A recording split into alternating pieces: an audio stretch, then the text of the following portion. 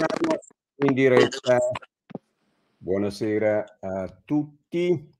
E il nostro ospite questa sera è, è Ferruccio Pinotti, un giornalista del Corriere della Sera che ho incrociato ormai decenni fa eh, nella casa editrice eh, fondata da Lorenzo Fazio Larizzoli Futuro Passato, la Bur Futuro Passato, una casa editrice con la quale eh, Ferruccio ha scritto molti libri di successo e, e, indagando diciamo, un, un aspetto, un lato molto molto complicato del potere, la sua faccia oscura, esoterica, la massoneria e l'influenza massonica eh, in Italia nell'economia, nella finanza, nella politica,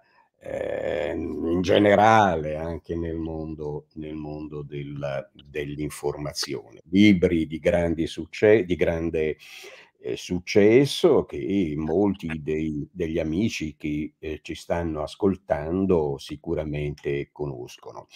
E, ehm, mh, questa sera invece Ferruccio parla con noi del, uh, del suo ultimo libro.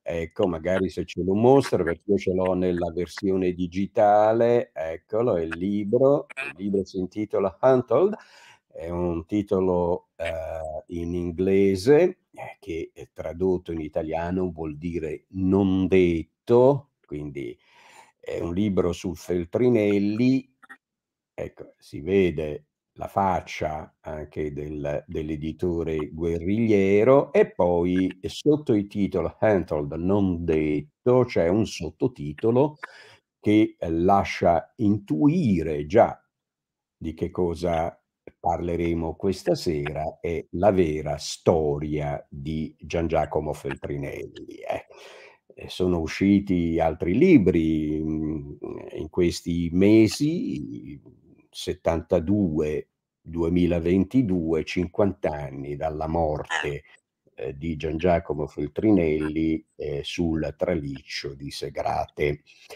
Um, e questa, diciamo, ricorrenza del cinquantennale della, de, de, della, della morte di Feltrinelli, eh, eh, come sta un po' accadendo in Italia negli ultimi tempi, invece di eh, così innescare una discussione pubblica molto più laica, basata su, su confronto fra tesi, ma fra tesi ovviamente non strampalate e campate in aria, ma documentate, fra tesi anche diverse, contrapposte, contrapposte e, e come sempre dicevo accade, eh, come spesso accade da noi, invece si è assistito a un, eh, come dire, a, a, a un un ridimensionamento drastico, diciamo così, della narrazione della narrazione tradizionale, ma sulla base di che cosa eh, poi non, eh, non, lo si è eh, capito fino in fondo. E allora, ehm, eh, Detto questo, io comincerei con le domande a Ferruccio, poi a un certo punto naturalmente eh, daremo anche eh, il microfono a chi ci ascolta, se ci saranno eh, domande, eh, con l'avvertenza però che siano domande brevi, perché a volte leggo, leggo domande chilometriche ed è difficile, è difficile eh, tradurle perché sto diventando cieco. Eh, quindi domande molto brevi e molto eh, telegrafiche. La prima subito a Ferruccio, la prima domanda a Ferruccio è questo, uh, Untold, eh, eh, il non detto, la storia, la storia vera. Ecco, Feltrinelli è un personaggio controverso, possiamo fare una rapida carrellata, diciamo così, dei punti, degli aspetti della sua storia, della sua personalità su cui eh, c'è molto da dire e, e, e, e molto magari lo dici tu nel libro. Volentieri, grazie mille a Giovanni Fasanella per questo cortese invito. Eh, Giovanni è un collega che stimo, che ammiro da tantissimo tempo, è un punto di riferimento per tanti giornalisti investigativi, per tanti storici, per tanti studiosi, perché come pochi ha saputo scavare con enorme capacità dei temi complessi, quindi è veramente un onore essere ospite di Giovanni Fasanella. Venendo alla domanda, la figura di Fettinelli è una figura di grandissimo interesse, una figura tra le più importanti del, del panorama culturale del Novecento. Fissiamo allora magari insieme qualche punto uh, sì. fisso per chi ci ascolta, se sei d'accordo Giovanni. Sì, sì, sì, sì prego. Lo vuoi fare tu o, o vuoi che eh, ti provochi io subito, su immediatamente? Vai tranquillo, vai tranquillo. Allora, intanto mi ero dimenticato di dire che tu uh, sei un giornalista del Corriere della Sera, capo servizio del Corriere, del Corriere della Sera.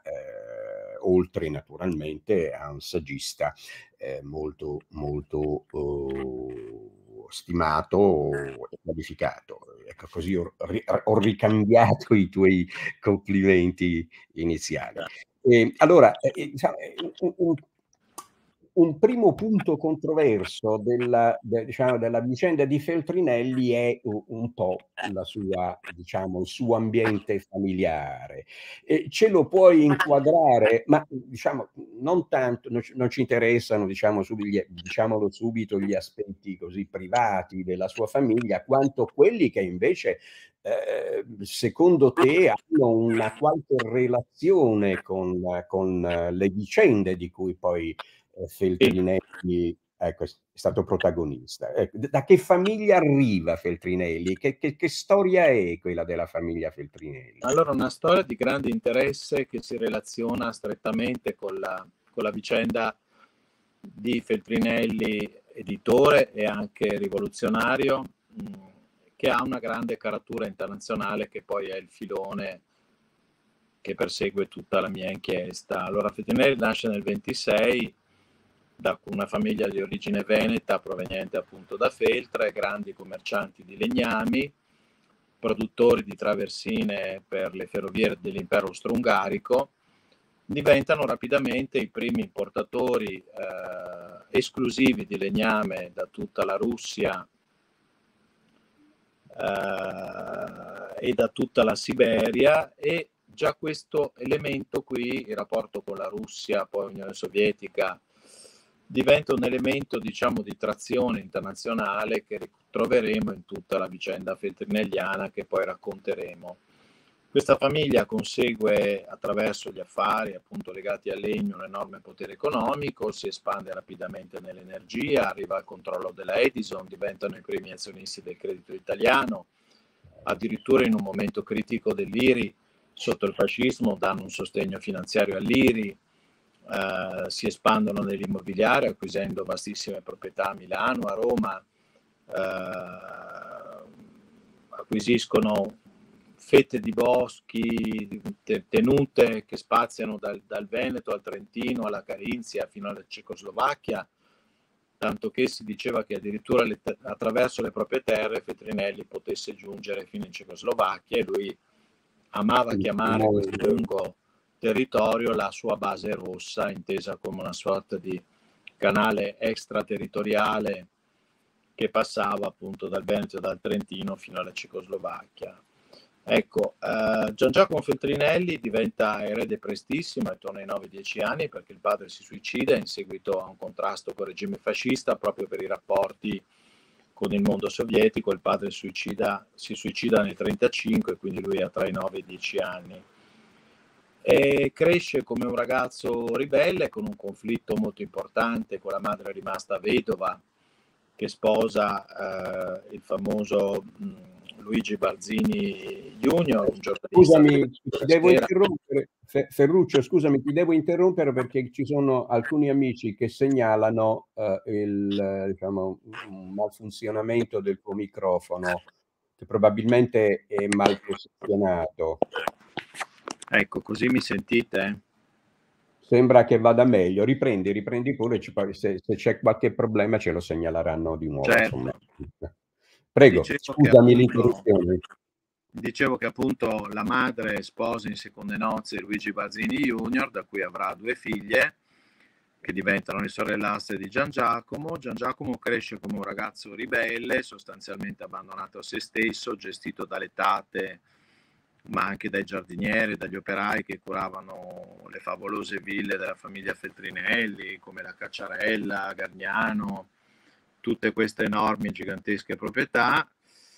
E a poco a poco la, passa da, dall'avere delle posizioni filofasciste, tanto che minacciava di denunciare i propri parenti all'Ovra, a posizioni socialisteggianti e poi comuniste, tanto che diciamo, verso la fase finale della guerra si arruola, sia pure per un breve periodo, volontario nella resistenza. Di lì matura il suo percorso come giovane comunista, come giovane aderente al Partito Comunista, cominciano delle sue donazioni regolari di soldi al PC e eh, diciamo sotto il consiglio diciamo, di alcuni grandi dirigenti del PC decide di utilizzare il proprio patrimonio per la fondazione per la nascita di un istituto dedicato agli studi sul movimento operaio, una raccolta quindi di libri, di testi e documenti che poi diventa anche libreria e diventa, diciamo, il primo nucleo della casa editrice, la quale proprio compie attraverso la Russia uno dei suoi primi scoop internazionali, pubblicando nel 1957 il dottor Givago di Boris Pasternak, un romanzo manoscritto avuto attraverso vie molto complesse da un suo scout Sergio D'Angelo che era eh, Russia, in Russia a Mosca per conto del PC e per conto di Feltrinelli. Lì pare che entrino già lì in gioco le amicizie con i sovietici, così come eh, altri diciamo, servizi che favoriscono la fuoriuscita del manoscritto e la pubblicazione in esclusiva mondiale. Come è noto, poi Pasternak vincerà il Nobel e adesso seguono altri grandi successi, come la pubblicazione del Gattopardo di Tomasi di Lampedusa, grandi autori come Adorno, Marcuse, Horkheimer, tutti grandi intellettuali tedeschi. Eh, insomma, eh, la casa editrice diventa presto un riferimento, diciamo, dell'intelligenza di sinistra.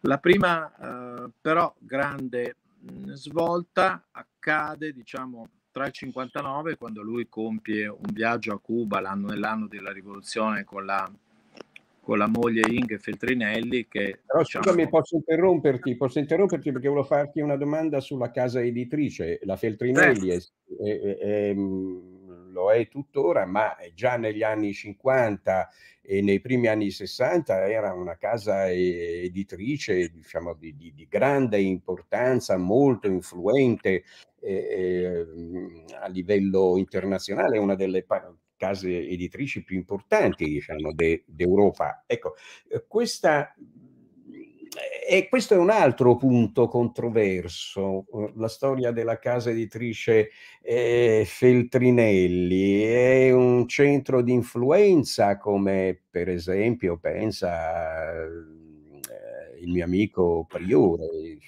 spesso con lui si è parlato di questo, è un centro di influenza culturale, eh, in che misura lo è ed è legato soltanto al, se lo è, mh, al mondo della sinistra, al mondo sovietico o altre ramificazioni?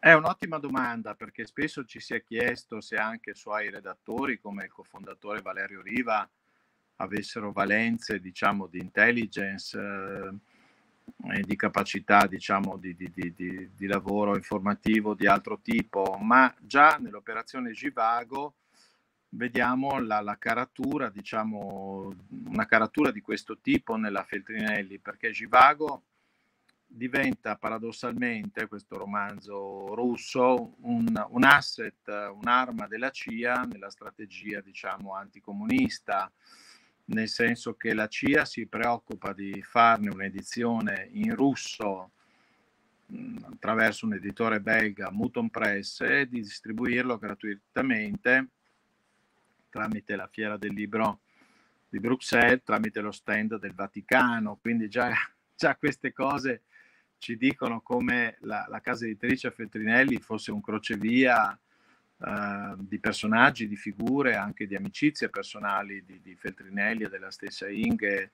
da Rovold a tanti altri editori, autori, mh, Gunther Grass, uh, tanti altri, insomma, diventa subito un crocevia e eh, presto la casa editrice assume a poco a poco una valenza sempre più politica, nel senso che Feltinelli nel 65, dopo un primo viaggio che citavo nel 59, decide di recarsi a Cuba, viene, dove viene presentato a Castro da Saverio Tutino, storico corrispondente dell'Unità.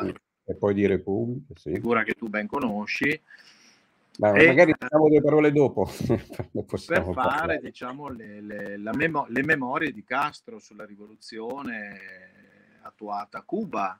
Lì nasce questo rapporto eccezionale, incredibile tra Castro e Feltinelli. Ci sono le foto della Inge di loro due che giocano a pallacanestro, a pallacanestro sul tetto della casa di Castro. Ci sono le foto di, di di Inge insieme a Hemingway eh, a Cuba, è un momento anche diciamo eroico, ma è un momento che preclude, eh, che prelude alla mm, politicizzazione di Feltrinelli, cioè Feltrinelli, questo lo dichiara in un'intervista a Gianfranco Vene de, successiva del 67, incontrando Castro innamorandosi anche del mito di Guevara, capisce che non gli basta più essere un editore, ma che vuole essere un rivoluzionario.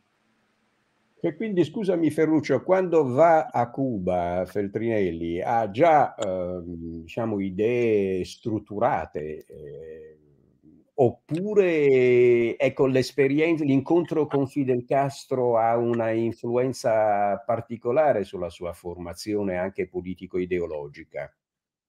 Ma indubbiamente lui aveva già una coscienza politica forte perché per esempio si era posto in contrasto col PC dopo l'invasione sovietica in Ungheria del 56, quindi lì, già lì era maturata una frattura forte col PC e rimaneva solo il rapporto con l'ala diciamo più dura del PC, quella di Pietro Secchia, altra figura che tu ben conosci. Ecco, tuttavia, eh, diciamo è proprio l'incontro con Castro l'elemento scatenante perché lui lì si sente chiamato all'azione, si sente chiamato fare qualco- a fare qualcosa.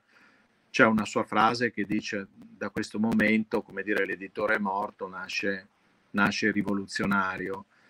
Gli incontri con Castro proseguono appunto nel 65, 66, nel 67. Nel 67 c'è un'altra grande svolta politica, Feltrinelli che nel frattempo eh, si è lasciato con Inge Schontal e eh, ha iniziato una relazione con una, con una, ragazza incontrata a Milano, Sibilla Melega di origine altoatesina, viene a sapere che in Bolivia si sta tenendo un processo contro un intellettuale francese, suo autore Regis Debray, figlio della sindachessa di Parigi, ancora vivo tutt'oggi, e allora decide di recarsi in Bolivia non solo per assistere eh, al processo di Debré, ma anche, questo me lo confida Sibilla Melega in un lungo incontro nella casa di caccia che le ha lasciato Feltrinelli a Oberhof in Carinzia, per tentare addirittura di salvare Che Guevara, cioè lui fa fare un trasferimento eh, da una banca, lui collegato a New York, eh, in una banca,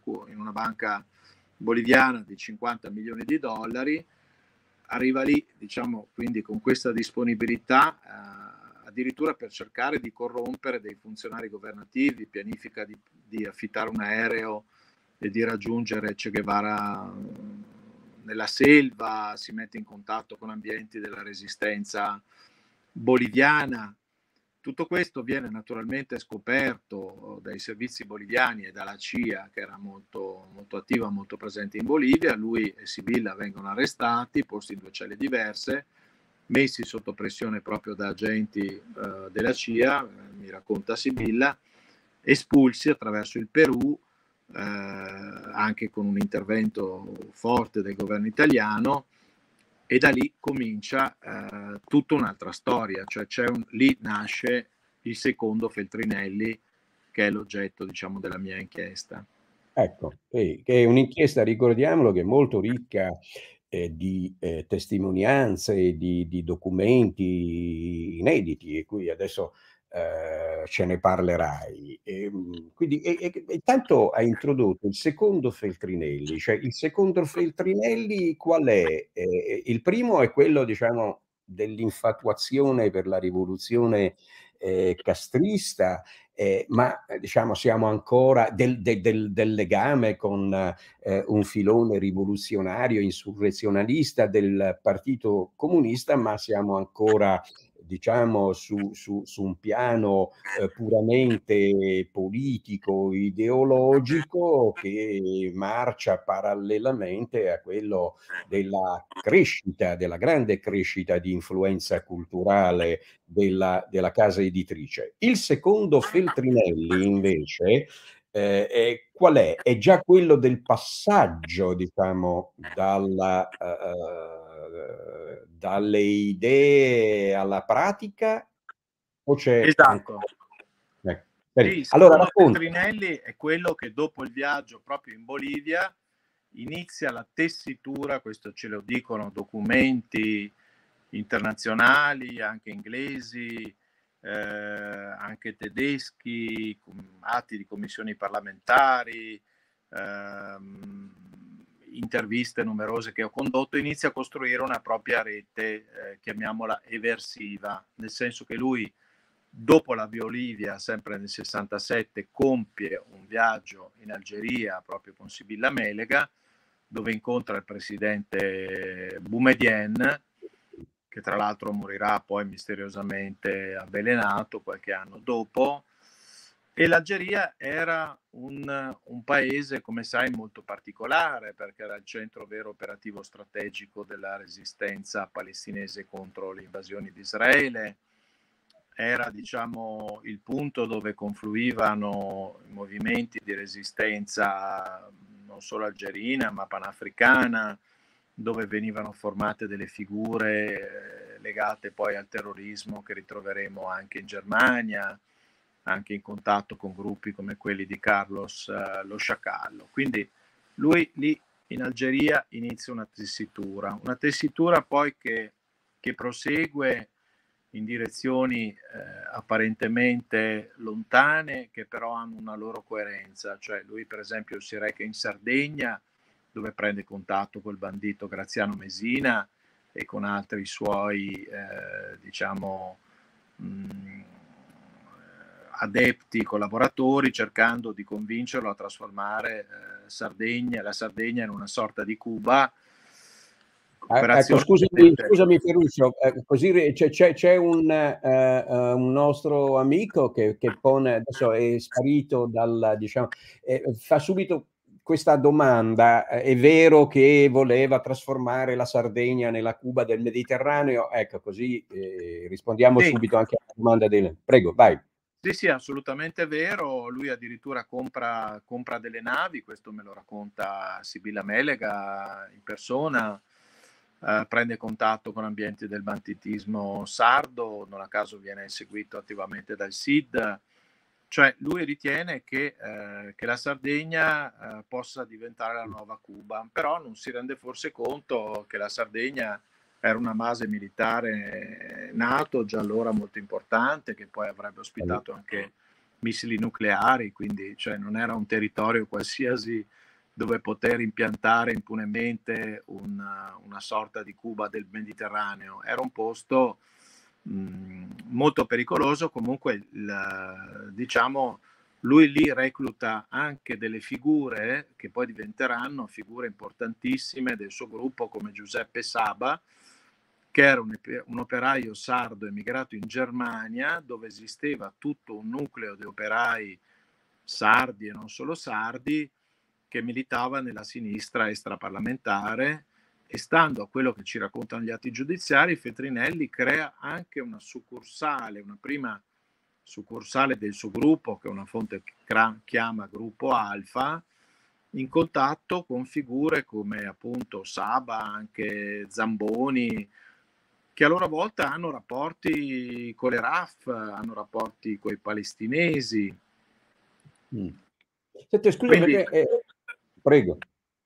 Quindi diciamo volevo, che volevo, lui... volevo, rimanere un attimo ancora sulla Sardegna, per dire, perché qui è, è, un punto molto interessante secondo me questo della Sardegna, perché la, la, la Sardegna nella, nella, pianificazione strategica dell'atlantismo, diciamo così, e anche dell'atlantismo, come dire, eh, occulto e segreto, per esempio la rete Gladio, ecco, la Sardegna era considerata eh, come eh, eh, la roccaforte estrema, cioè il punto da tenere a tutti i costi nel caso in cui ci fosse stata un'invasione eh, del, eh, dell'Italia da est, dall'est, dall'est comunista. Ecco, eh,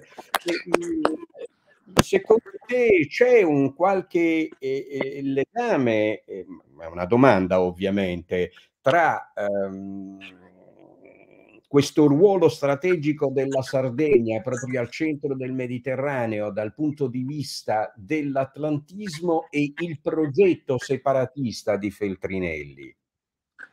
Assolutamente Giovanni, ci sono entrambe queste valenze, perché da un lato Feltrinelli è primo, uno dei primi grandi irredentisti, diciamo uno dei primi grandi pensatori, local si potrebbe definire oggi, perché vede diciamo nei movimenti inserazionalisti, redentisti come quello sardo, ma anche quello altoatesino per esempio, così come lui ha rapporti con l'Ira, ha rapporti con l'Etta, eh, con i baschi, ehm, così come in America con altre forze, cioè vede nei movimenti, come dire, uh, insurrezionalisti, redentisti, delle possibili forme di alleanza. Dall'altro appunto c'è l'elemento atlantico e questo ci porta già verso diciamo, i pericoli di infiltrazione anche del gruppo di Feltrinelli di cui parleremo dopo, perché figure come Saba da alcune fonti che riportano gli atti giudiziari viene considerato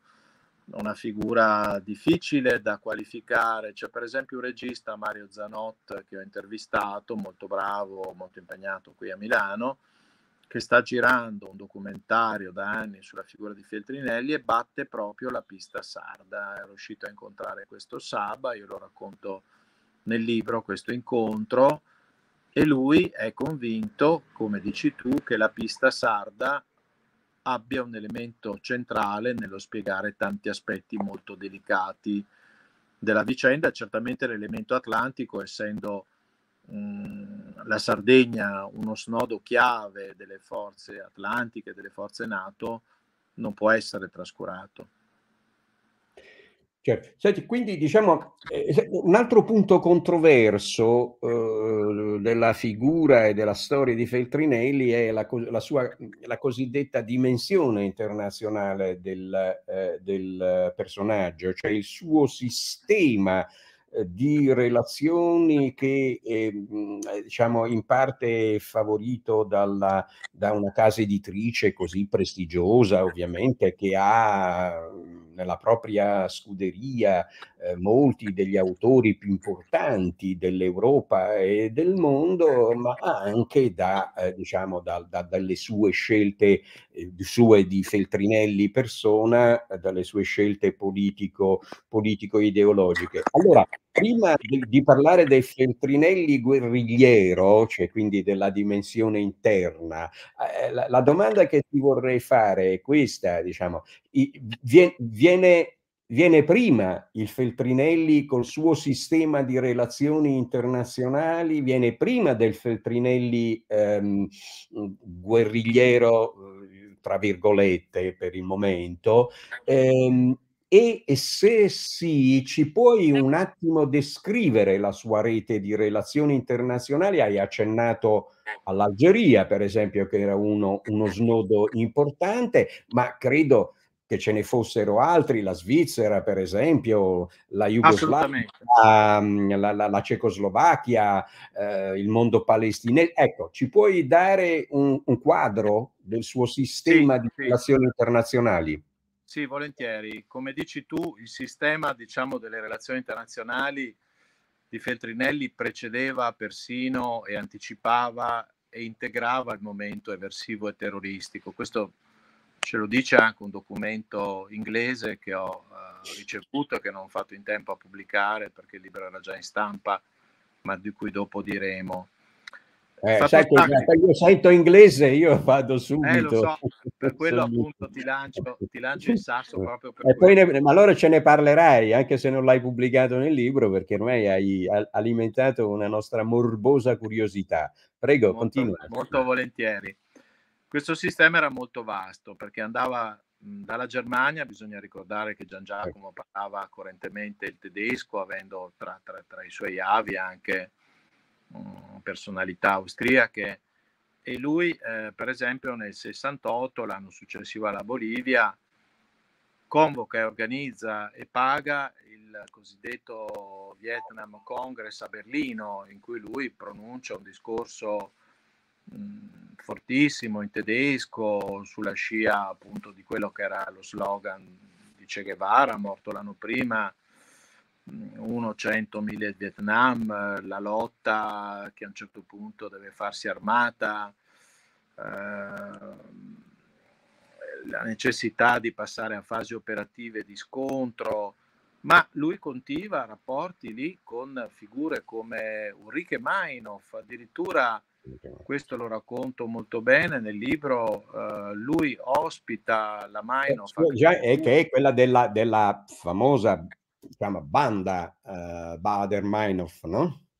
Assolutamente, sì, una delle fondatrici della, della banda Bader-Meinhof, la ospita sì. insieme al marito che era l'editore di una rivista di ultrasinistra che si chiamava Concrete, con le due figlie, le due gemelline, addirittura uh, Mainov, la, la Mainov spera di sposare al figlio uh, in domani scherzosamente al figlio di, di Feltrinelli, Carlo, la, la, figlia Bettina, questo lo racconterà lei stessa a un'intervista a 7 del Corriere della Sera.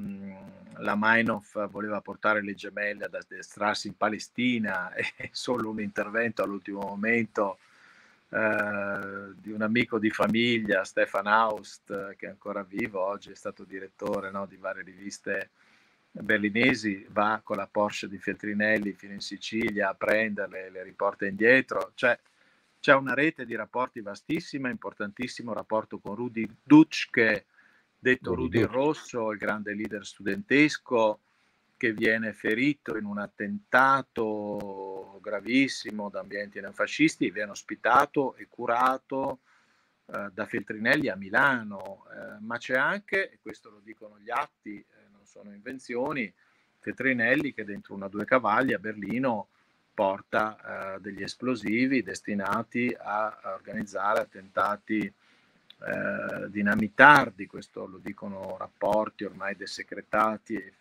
che figurano negli atti che ho avuto dal Tribunale di Milano. Quindi c'è tutta una rete tedesca, c'è diciamo il gruppo tedesco uh, di Feltrinelli che comprendeva anche Petra Krause, che comprendeva mh, poi figure di livello intellettuale come quelle che abbiamo citato, Rowold, uh, Va, Klaus Wagenbach che si è spento recentemente e che pronuncerà la sua orazione funebre a Milano nel 72. Insomma, c'è una rete vastissima uh, tedesca. Poi c'è la rete svizzera, altrettanto importante, eh, eh. perché la logistica del network eversivo messo in piedi da Feltrinelli aveva la sua centrale proprio in Svizzera. In Svizzera Feltrinelli deteneva dei conti correnti segreti come il conto Robinson Crusoe, con i quali finanziava tutto uh, il mondo delle versioni europee, quindi faceva arrivare soldi alla Bader-Meinhof, alle RAF, finanziava i compagni elvetici, compagni francesi, compagni palestinesi, tutto si muoveva in Svizzera.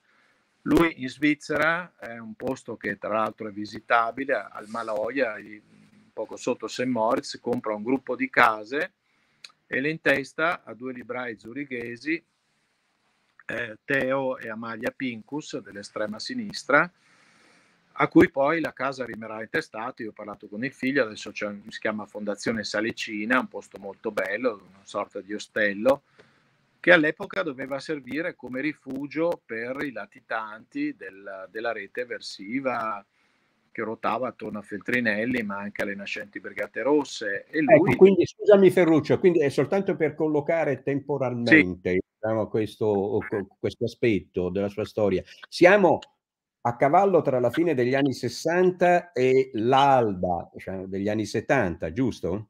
Esattamente, sì. Diciamo che questa costruzione del network eh, eversivo che poi diventa, diciamo, terroristico parte appunto dopo Cuba, quindi dal 65, in particolare dal 67 dopo la Bolivia.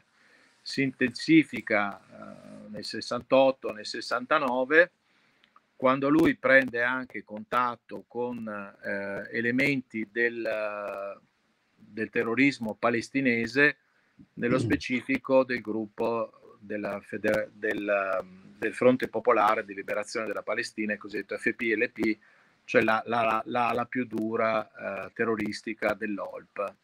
Peraltro lui aveva anche rapporti personali con Arafat ed era l'unico uomo al mondo che conosceva il nome di battaglia segreto di Arafat. Quindi lui coltiva... Qual era? Rapporti... Qual era? Eh, questo, non so, questo il nome non te lo so dire, però questa è una rivelazione fatta in persona da, da Inge Feltrinelli. E, ehm, comunque lui coltiva rapporti soprattutto con Giorgia Bash, che è il rappresentante più, più più di calibro dell'FPLP, ma anche con Vadia Haddad, tra l'altro sono uomini diciamo di cultura, sono medici, sono suoi, coetanei, provengono diciamo dalla buona borghesia araba palestinese, quindi insomma non sono dei guerriglieri qualsiasi, sono, sono persone che hanno una caratura uh, intellettuale forte, secondo un intellettuale pa- palestinese che ho intervistato, Amin Abulsi, eh, lui era anche amico di Wael Zweiter, quello che venne ucciso dal Mossad durante l'operazione Vendetta dopo Monaco 72. Cioè lui si avvicina tantissimo alla causa palestinese, ne diventa uno dei principali artefici. Eh, addirittura gli atti giudiziari raccontano di traffici, di tre traffici di armi eh, che coincidono con un, uno strano crack eh, di un Giuseppe Pasquale, certo Giuseppe Pasquale, un finanziere, produttore cinematografico che voleva pro- fare con, con, Feltrinelli un film sul dottor Civago che poi in realtà fu fatto da Ponti e narrano appunto di, di, strane manovre tese a fornire aiuto economico ma addirittura armi al movimento eh, palestinese. E qui poi verremo al caso uh, Breguet, se vorrai, che è una cosa totalmente nuova, inedita. Eh, eh, restiamo, restiamo alla netto. Sì, sì, Poi sono i rapporti, sono i ah, rapporti ecco, con i francesi che sono ecco. molto forti con, con Bendy, con tutto questo ambiente, diciamo, del 68 francese, uh, un ambiente che poi aveva delle propagine italiane col gruppo Hyperion che tu hai studiato, approfondito meglio di me, quindi figure come Simeone. Parola, parola impronunciabile, subito ci accuseranno di fare del complottismo. Esattamente, figure mm. strane come appunto Simeoni che avevano però rapporti con la BPR, eh, con tutto il réseau, diciamo, réseau Janson, tut, mondi francesi che nascevano addirittura dalla, dalla battaglia di liberazione algerina, diciamo, andiamo in quella direzione lì, che a sua volta era connesso col mondo palestinese, perché sono gli algerini che a un certo momento aiutano Georgia Bush a scappare dal Mossad, quindi sono dei fili molto sottili. Poi c'è la rete cecoslovacca. Ecco, eh, stavo per chiedere. Petrinelli poteva arrivare attraverso le sue terre, addirittura fino uh, in Cecoslovacchia, aveva un villino a Praga dove dette protezione anche a uh, Augusto Viel, che è uno del suo gruppo, ma era anche di una banda genovese, commise un omicidio e Feltrinelli lo rifugiò a Praga. E a Praga girava tutto un giro chiamato la Volante Rossa di ex partigiani eh, i quali, secondo alcune informative dei sismi, erano divenuti anche agenti dei servizi dell'Est, perché lì attorno a Praga ruotavano non solo i servizi cecoslovacchi, ma ruotavano quelli sovietici, quelli della Stasi della DDR. Quindi anche lì eh, c'è una rete importante. Poi appunto abbiamo... Scusami Ferruccio, ma Feltrinelli a proposito di Praga e della Cecoslovacchia, cioè Feltrinelli aveva rapporti con questo mondo che tu hai descritto, diciamo, il mondo, gli ambienti dei rifugiati italiani a Praga.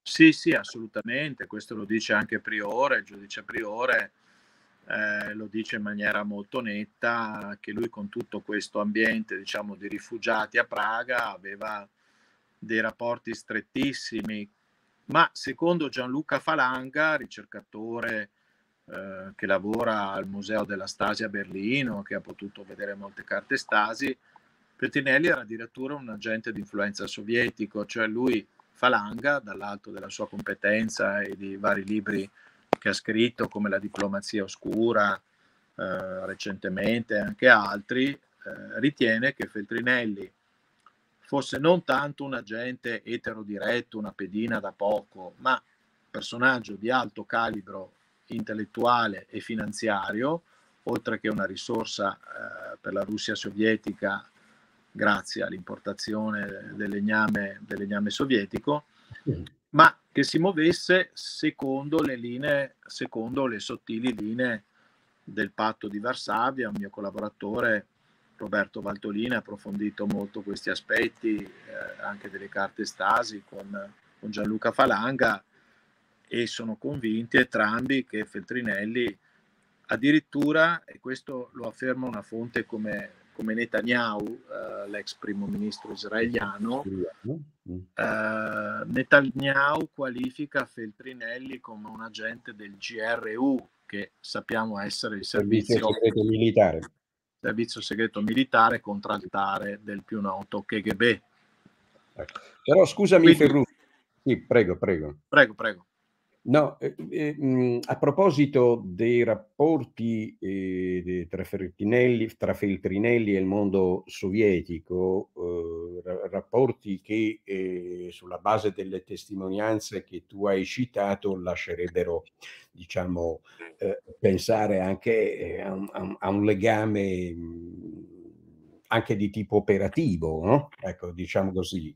io non, non, lo so, ma eh, siccome hai citato nomi di, di studiosi diciamo, che sono seri e quindi è sicuramente eh, una eh, ipotesi da prendere in considerazione. Allora la domanda che ti vorrei porre è questa, cioè eh, se i rapporti di Feltrinelli al di là diciamo, degli aspetti politico-ideologici erano anche di questa natura, come si spiega questa apparente eh, contraddizione tra appunto i legami di Feltrinelli con il mondo sovietico e la pubblicazione di un libro come il dottor Zivago che, eh, che certo per l'Unione Sovietica diciamo ha un effetto devastante perché è un successo mondiale strepitoso eh, che eh, ci dà un, un'idea del, di, di, quel mondo che certo non era lusinghiera per i dirigenti del Cremlino. Come, come si spiega questa contraddizione? Beh, una contraddizione che tu giustamente sottolinei ed è forte perché alcune carte che la CIA le uniche carte che la CIA ha desecretato su Feltrinelli, pur avendone molte, questo me l'ha detto anche il figlio Carlo, sono proprio quelle che riguardano eh, Pasternak, il dottor Givago, tanto che è uscito un libro in America e anche poi ne è uscito uno in Italia di Mancoso sulla, sulla vicenda Pasternak, no? Quindi da un lato Feltrinelli eh, è stato nella prima fase, eh, in quella prima fase anche una risorsa probabilmente involontaria eh, della CIA nella diffusione di questo libro. Secondo, mh, per esempio, il professor Aldo Giannuli, da un'interpretazione provocatoria e stimolante, dice guarda che eh, in realtà i sovietici Givago gli hanno, gli hanno consentito di pubblicarlo, in particolare gli c'è stato un regalo della Gosbank, la, la banca centrale russa, che, che aveva un tale e tanto potere nella pianificazione economica che ben conosceva l'importanza economica dei Feltrinelli per l'economia sovietica, che in sostanza gli hanno fatto un regalo, gli hanno dato, hanno chiuso un occhio, gli hanno lasciato fare lo smuggling del, del manoscritto. Per, perché? Perché fargli questo regalo? Cioè perché diciamo darsi a zappa sopra i, sui piedi? Eh, Beh, certo, Senti? è una contraddizione eh, che però potrebbe essere anche diciamo accettabile, nel senso che essendo lui una figura sostanzialmente, questo ce lo dice il presidente della commissione stragi Pellegrino, ce lo dicono magistrati, esperti di intelligence, una figura quasi di agente doppio o triplo, Feltrinelli poteva e doveva giocare su più fronti, cioè Feltrinelli come agente di influenza poteva essere speso nelle sue relazioni col Vaticano, ricordiamo che le relazioni della famiglia col Vaticano erano forti e che a un certo punto eh, lui addirittura vende una banca, la, la, banca di famiglia, la Banca Unione, su pressione del Vaticano la vende a Sindone tanto per dire, no? Ecco, quindi Feltrinelli aveva una caratura di ordine, parlava cinque lingue fluentemente, cioè una caratura internazionale di altissimo spessore. Quindi, diciamo, il chiudere un occhio, perché se veramente i sovietici avessero voluto uh, bloccare Pasternak, i cui eredi poi furono senz'altro anche perseguitati, anche incarcerati, la Ivinskaya, no? la Olga però tutto sommato avrebbero anche potuto. Eh, quindi secondo me non ha torto Giannulli nel dire che a un certo punto hanno chiuso un occhio, meglio che lo pubblicasse un editore comunista loro amico in qualche modo che non magari qualche, qualche editore di altro tipo. Okay. Quindi allora, scusa, avevi concluso la tua risposta Ferruccio? Sì, sì, avevo concluso nel dire che appunto questa rete che Feltrinelli crea in quegli anni è molto vasta. Questa rete ha anche diciamo, dei lati interni oltre che internazionali, perché non bisogna dimenticare che nel 68-69 si crea il cosiddetto collettivo politico metropolitano, che è il nucleo, tu hai scritto un libro, che cosa sono le BR, quindi qui pongo io a te la domanda, insieme a uno dei suoi fondatori, Alberto Franceschini, che io anch'io ho molto intervistato a lungo, Feltrinelli ha rapporti con questo primo nucleo delle, delle, BR e che tipo di rapporti sono? Posso fare io a te la domanda, Giovanni, me lo consenti?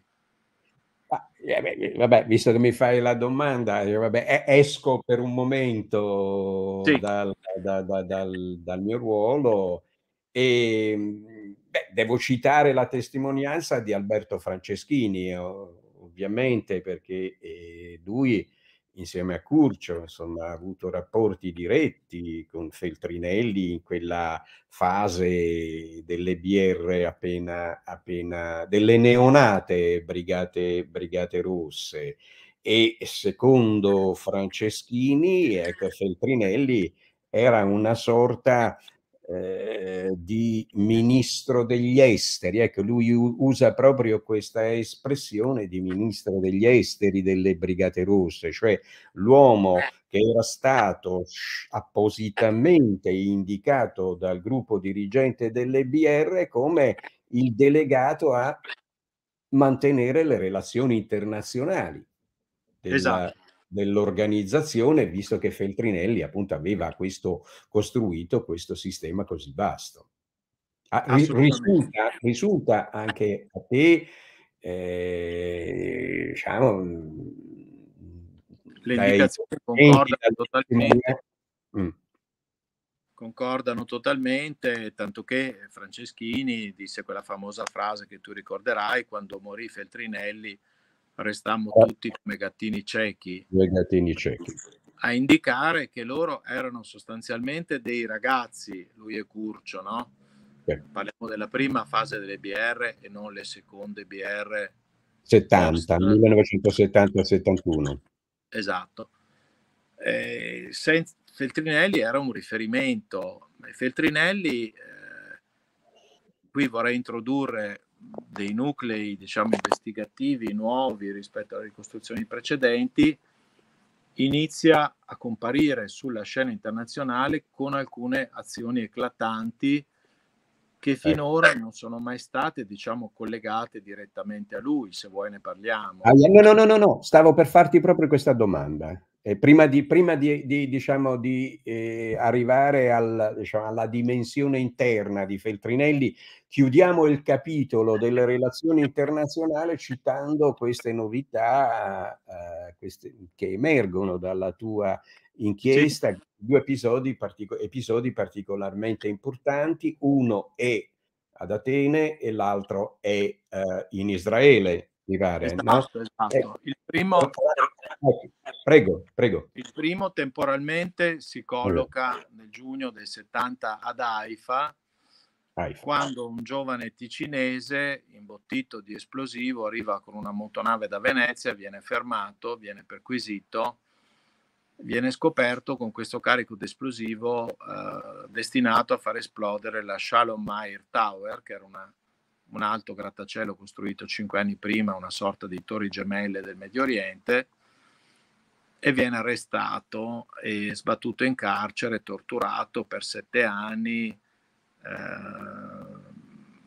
e costretto diciamo, a narrare il suo network eversivo. Allora lì io trovo un'indicazione di una brava giornalista, Claire Sterling, che aveva rapporti con la CIA, con l'MI6. Io ho intervistato a lungo il figlio Luke, che sta a New York, e la Claire Sterling, che è stata a lungo in Italia, avendo sposato un italiano, scrisse che il mandante di questo attentato, progetto di attentato, era proprio Gian Giacomo uh, Feltrinelli. Allora, Scusa, chi, è che lo dice? Chi è che lo dice?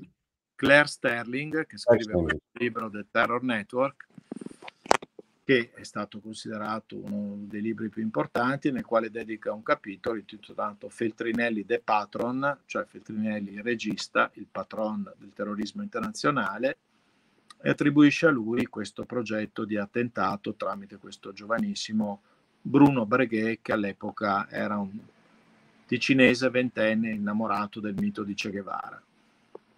Io e Valtolina siamo riusciti con molta fatica a metterci in contatto col fratello Ernesto che vive eh, sempre lì dalle parti di Ascona in Ticino.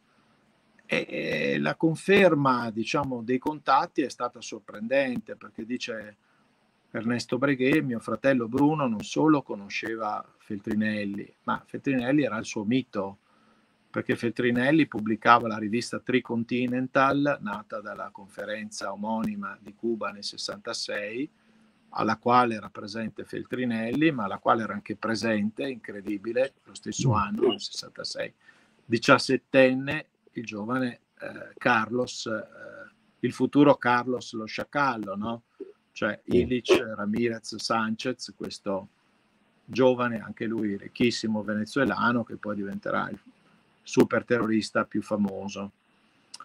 E mh, mm, il fratello di Breguet ci conferma questi rapporti, ci conferma questo network italo-svizzero, ma poi ad affermare che eh, Feltrinelli è il mandante è anche un documento interno di quello che era, chiamiamolo, il servizio segreto del PC, che io e Valtolina siamo riusciti a ritrovare dentro gli atti giudiziari, quindi una carta che è in allegato nel libro ad affermarlo e poi, eh, sono poi, e poi la commissione stragi che attribuisce eh, questa iniziativa di Breguet, di Haifa, eh, che andava ben oltre le possibilità di un ragazzotto ticinese di relazionarsi con una realtà ed è il primo eh, diciamo terrorista europeo a finire eh, nelle carceri israeliane dopo lui si arruolerà nel gruppo di Carlos, scomparirà misteriosamente nel nulla,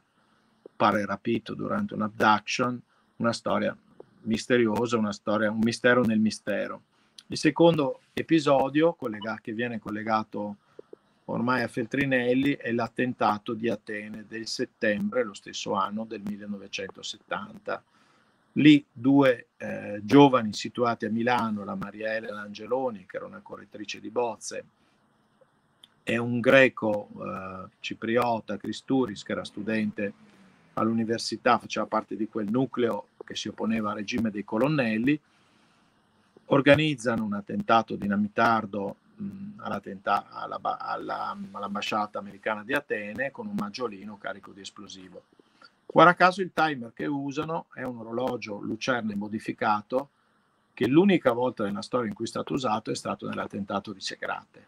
Cioè, solo due volte, dicono, lo scrivono i magistrati, questa non è diciamo un'indicazione mia, viene trovato questo orologio lucerne come, eh, come timer esplosivo.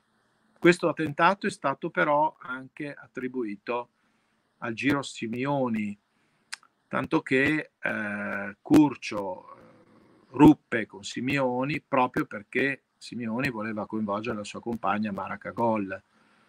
Lui si oppose sì. e fu trovata questa povera Mariella Angeloni di cui io, di cui io ho intervistato il figlio eh, che sta a Londra e che racconta tutto il set delle frequentazioni della madre che erano trasversali al mondo editoriale, in cui nuotava lo stesso Simioni, no? che, che, che, era uno studioso di Pirandello inizialmente, in cui si muoveva Feltrinelli stesso.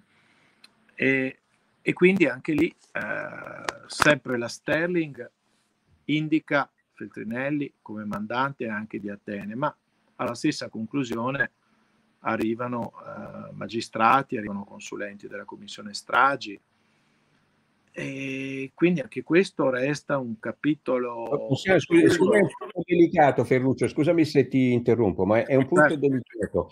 Eh, eh, ti, ti, devo chiedere se eh, diciamo, puoi citare le altre fonti oltre alla Sterling diciamo, che collegano Feltrinelli all'attentato sì. all'ambasciata sì. americana di Atene. Ci sono gli atti della commissione stragi che dedicano proprio un apposito capitolo all'attentato di Atene, dicendo che gli ideatori dell'attentato sono da un lato Corrado Simeoni e dall'altro, Simioni e dall'altro Gian Giacomo Feltrinelli. Questo viene detto in maniera chiara, viene eh, citato anche il lavoro del magistrato Mastelloni su alcuni temi.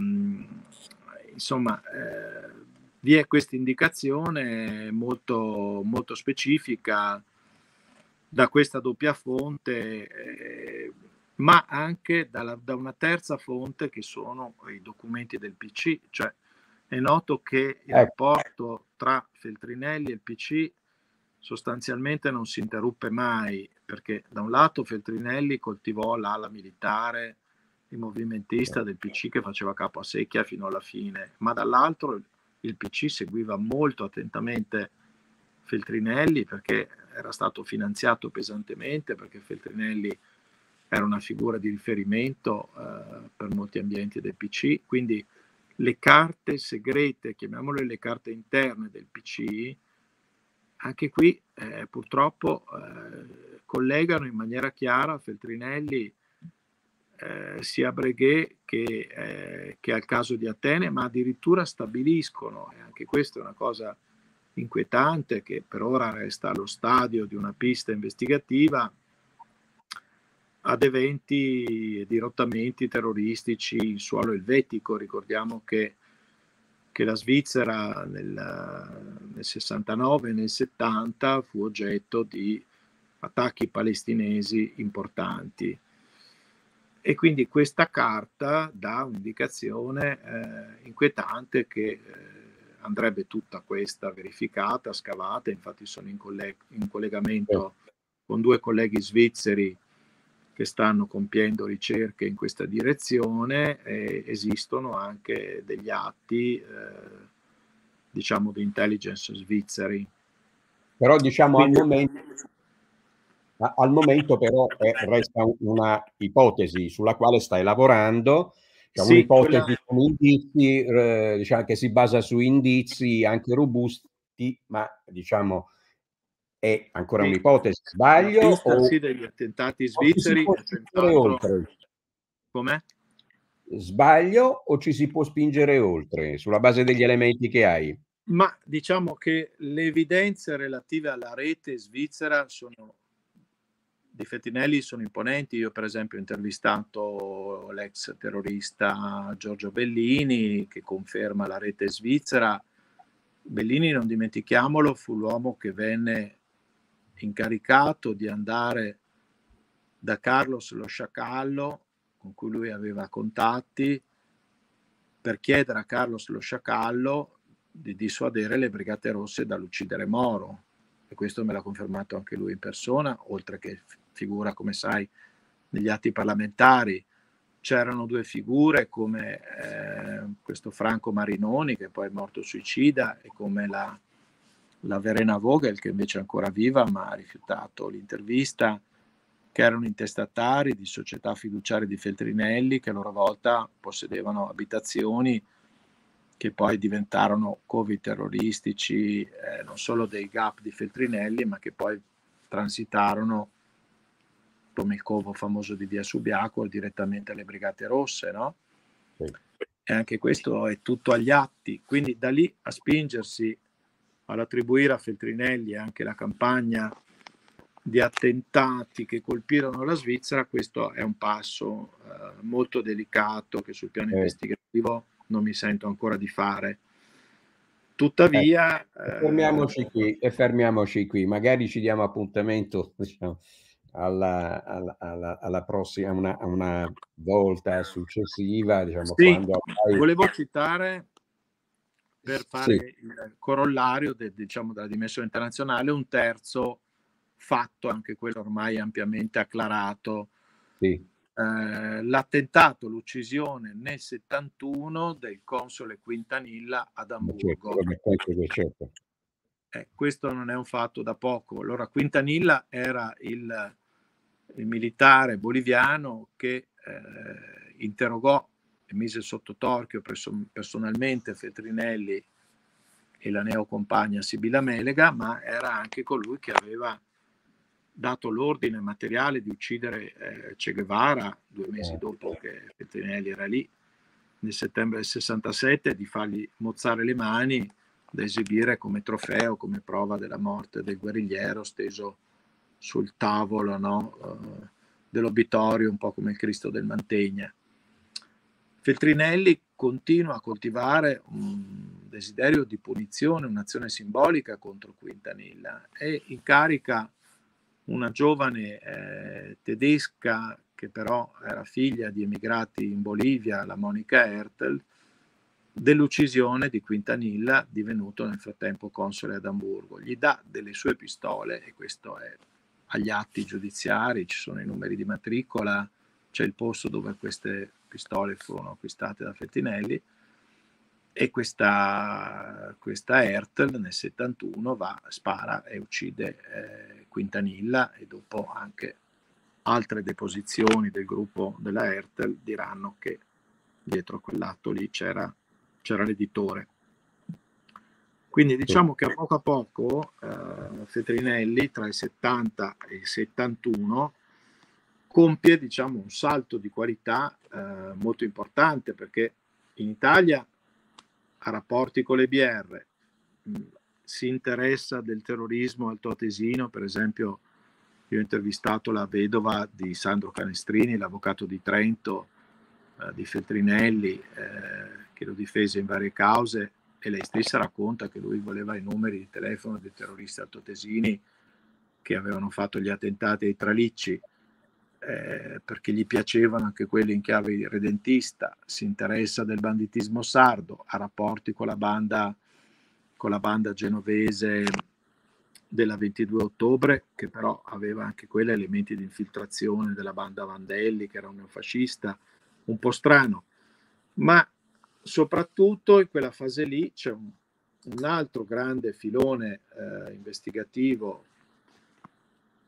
forte in questo lavoro che sono i rapporti con, con il mondo dell'estrema destra, cioè nel senso aspetta, che lui... Aspetta, Felice. Adesso, prima di, di, di parlare di, di, questo filone ti vorrei girare due domande eh, alle quali puoi dare anche eh, risposte eh, telegrafiche se vuoi. Una è di Roberto, spero di non, eh, eh, purtroppo i caratteri sono molto piccoli e non riesco a leggere. Eh, allora, Roberto Valpolina, che, che, che, tu hai sì, citato sì, prima, ecco, eh, lui dice eh, che Feltrinelli e Dotti, Roberto Dotti, che noi non abbiamo citato, eh, nessuno ha citato Roberto Dotti, noi abbiamo parlato di ambienti eh, di rifugiati italiani in Cecoslovacchia, eh, ce n'erano centinaia, non c'era solo Roberto Dotti, ma comunque lui dice che Roberto Dotti e Feltrinelli si conoscessero, non ci sono eh, prove. Roberto Dotti, per chi non eh, eh, lo sa, era eh, un ex comunista, partigiano eh, del filone insurrezionalista, quindi secchiano, eh, coinvolto in episodi all'inizio degli anni 50, in, di, in episodi di violenza politica, eh, e poi fuggito con l'aiuto del partito eh, a Praga. Eh, a Praga ha rapporti con l'intelligence, l'intelligence cecoslovacca, rientra in Italia e in Italia va, si pente eh, e va a lavorare con Edgardo Sogno. Ecco, questo per Edgardo Sogno, sapete tutti chi è, questo per inquadrare la figura di, di Roberto eh, Dotti. Ecco, eh, allora questa domanda sui legami tra Feltrinelli e Dotti, anzi più che una domanda è un'affermazione, non ci sono prove, tu confermi o, o smentisci, ma immagino che tu confermi, cioè, visto che hai lavorato insieme a certo, Roberto certo, certo. Sì, sì, no, confermo questa, questa indicazione.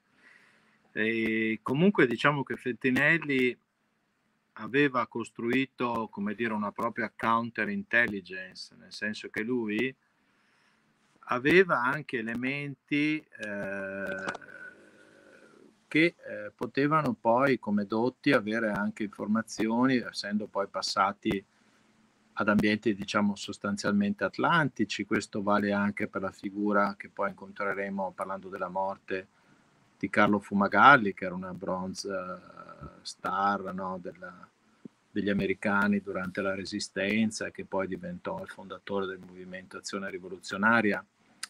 Cioè Fetrinelli coltivava anche a destra, diciamo, dei rapporti interessanti. Lo stesso giudice Salvini ci ha confermato che nei rapporti col famoso conte Loredan di Treviso, che era un uomo, diciamo, del giro Fred Ventura.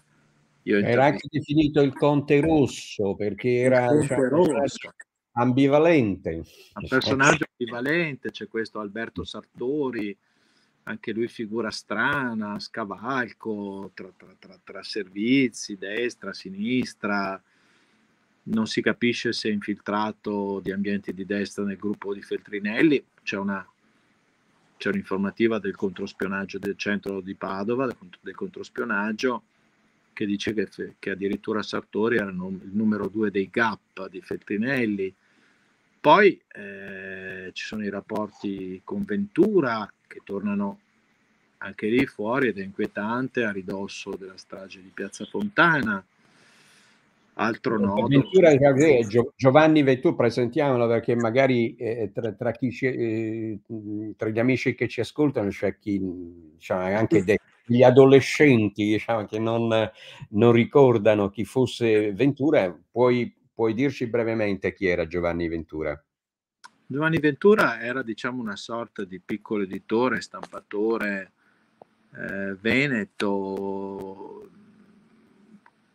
collocabile diciamo in quell'area che veniva de- denominata dei nazi maoisti, cioè persone con estrazione varia, a volte anche socialista, che poi erano confluiti diciamo in una destra, chiamiamola sociale, che guardava con simpatia all'estrema sinistra, ecco. Eh, in questo ambito va collocato anche lo stesso Freda, io ho intervistato Freda, eh, c'è una lunga intervista nel libro a lui, ma anche alla sua ex compagna Anna Valerio che ha scritto un bel libro non ci sono innocenti, che ha ricostruito con me eh, quel milieu culturale particolare di quel tipo di destra che guardava con simpatia all'estremismo di sinistra nel nome di una comune causa antisistema, antistato, nel nome di una comune strategia tesa a portare lo Stato borghese alle estreme conseguenze e da lì a scatenare una, chiamiamola, rivolta popolare, una resistenza di massa. E che cosa dice Freda a proposito di, di una figura come Feltrinelli? Beh, Freda innanzitutto conferma la paternità di questi suoi scritti che io ho citato, in cui lui poi sembra proprio rivolgersi a Feltrinelli. Eh, proclama un'unità di intenti eh, forte, eh, un tratto di strada insieme, dopodiché ognuno prenderà la sua strada, scrive con l'estrema sinistra. Lui dichiara di essere stato affascinato dalla figura di Feltrinelli e che però dopo eh, con Feltrinelli mh, non è stato possibile giungere a delle intese operative eh, forti.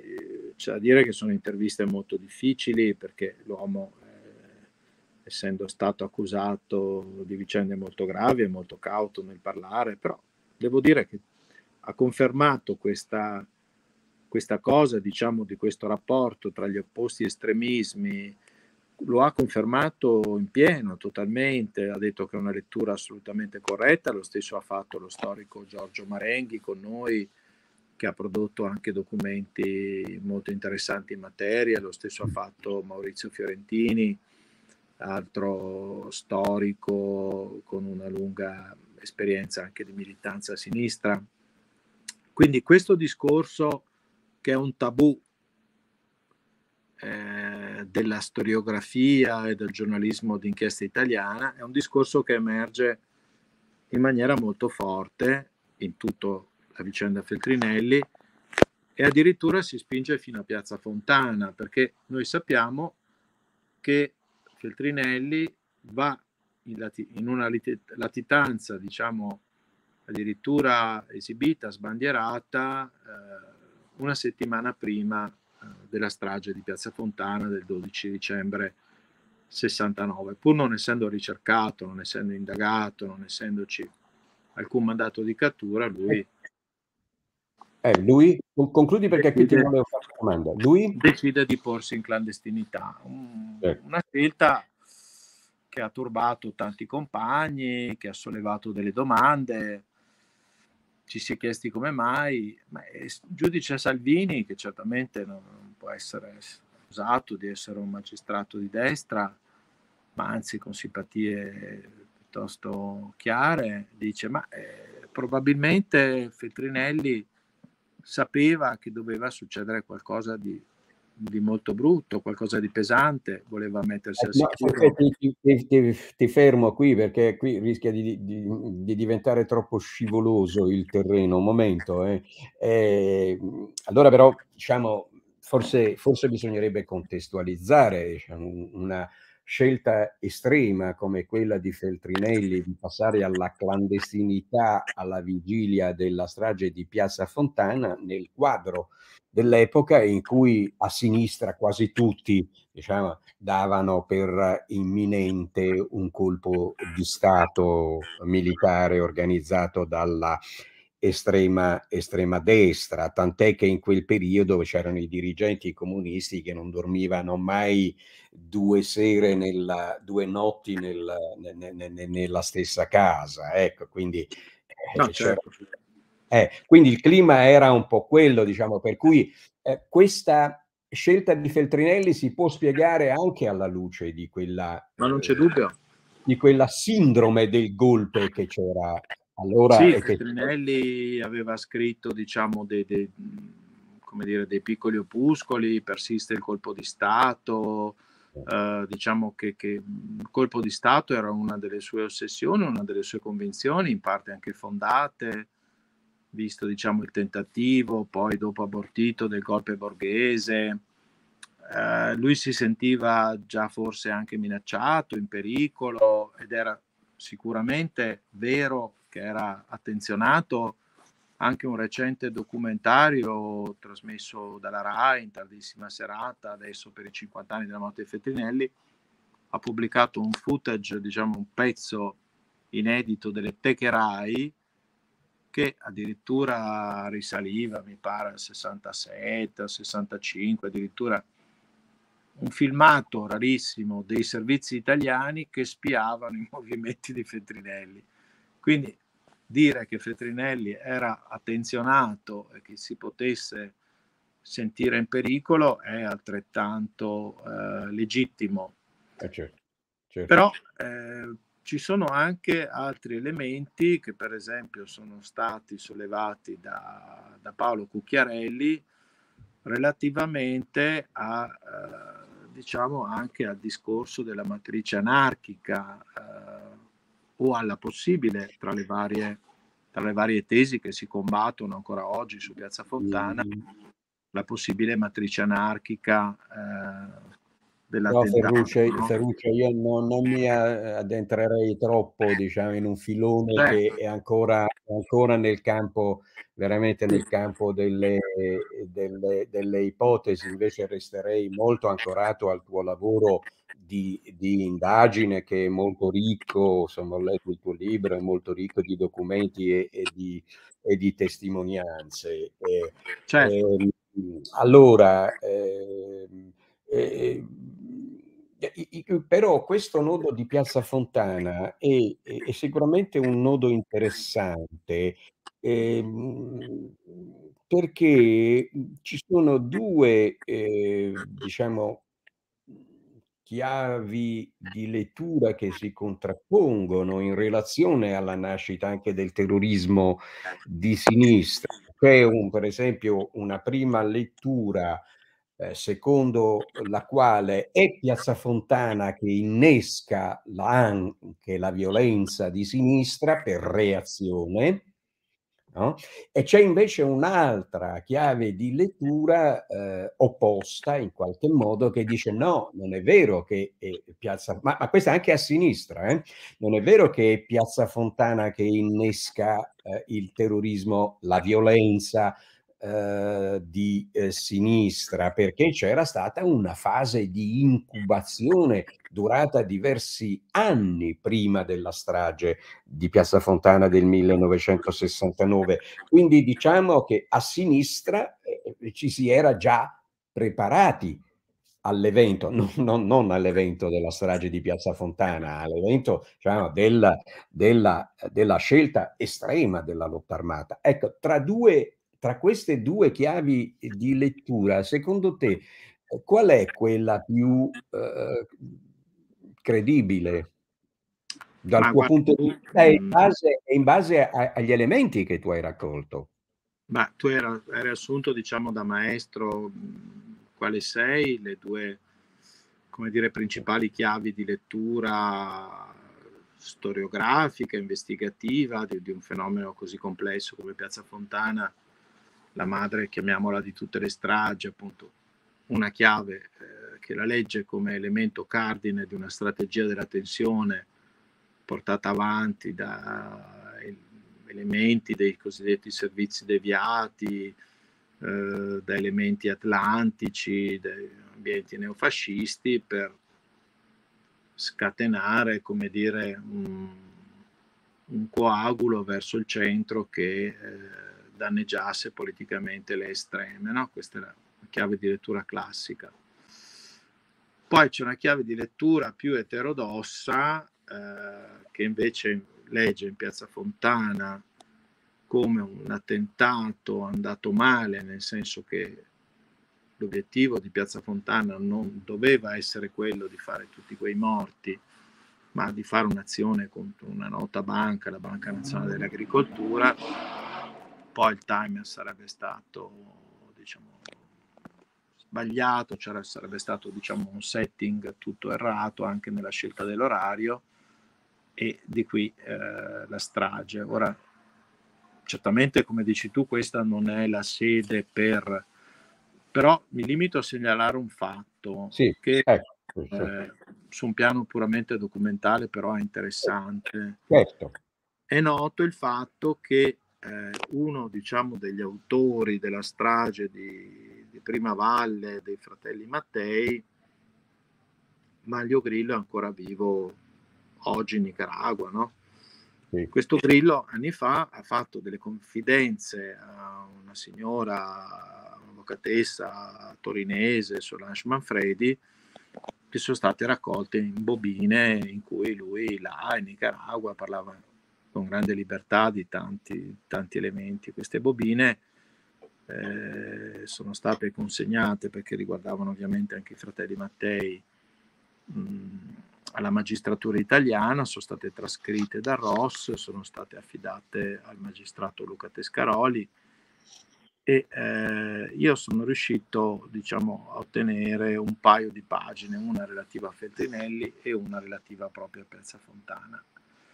Ed è curioso che Grillo, eh, in piena libertà, dal suo rifugio, dal suo puerto scondito di Nicaragua, dice che a mettere la bomba fu, eh, fu Valpreda, però legge Valpreda come un anarchico che aveva eh, dei contatti, dei rapporti pericolosi con ambienti di estrema destra.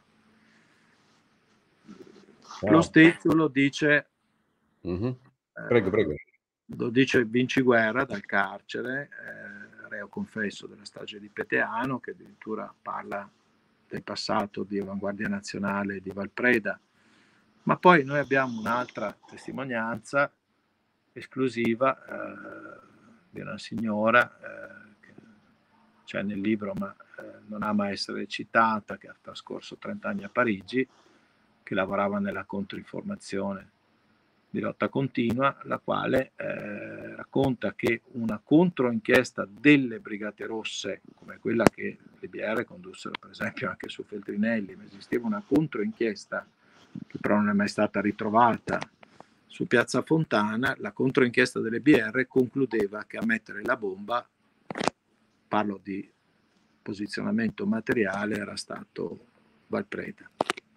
Però Ferruccio, no, no, no, non voglio spingermi oltre perché eh, non sì, è come dire la mia materia, non è il focus eh, del mio libro, quindi mi limiterei eh, sì, diciamo anche, anche perché insomma, cioè, eh, a me sembra che gli elementi, dopodiché ognuno, io ho delle opinioni eh, su questo, ma sono le mie opinioni eh, e tali restano, eh, invece, invece eh, il tuo lavoro è un lavoro molto serio, diciamo, basato su documenti e testimonianze, per cui diciamo, l'ipotesi che Valpreda eh, fu lui a mettere la bomba a Piazza Fontana, cioè io eh, diciamo, andrei un po' più cauto, però si può dire un'altra no, cosa eh no, ma, no, no, ma adesso non, non dicevo per cioè, tu l'hai, preso, l'hai presa molto con le pinze, giustamente. Molto con le pinze. Eh, esatto, eh, eh per, per, però ecco, una cosa che sul piano storiografico diciamo, ha, una,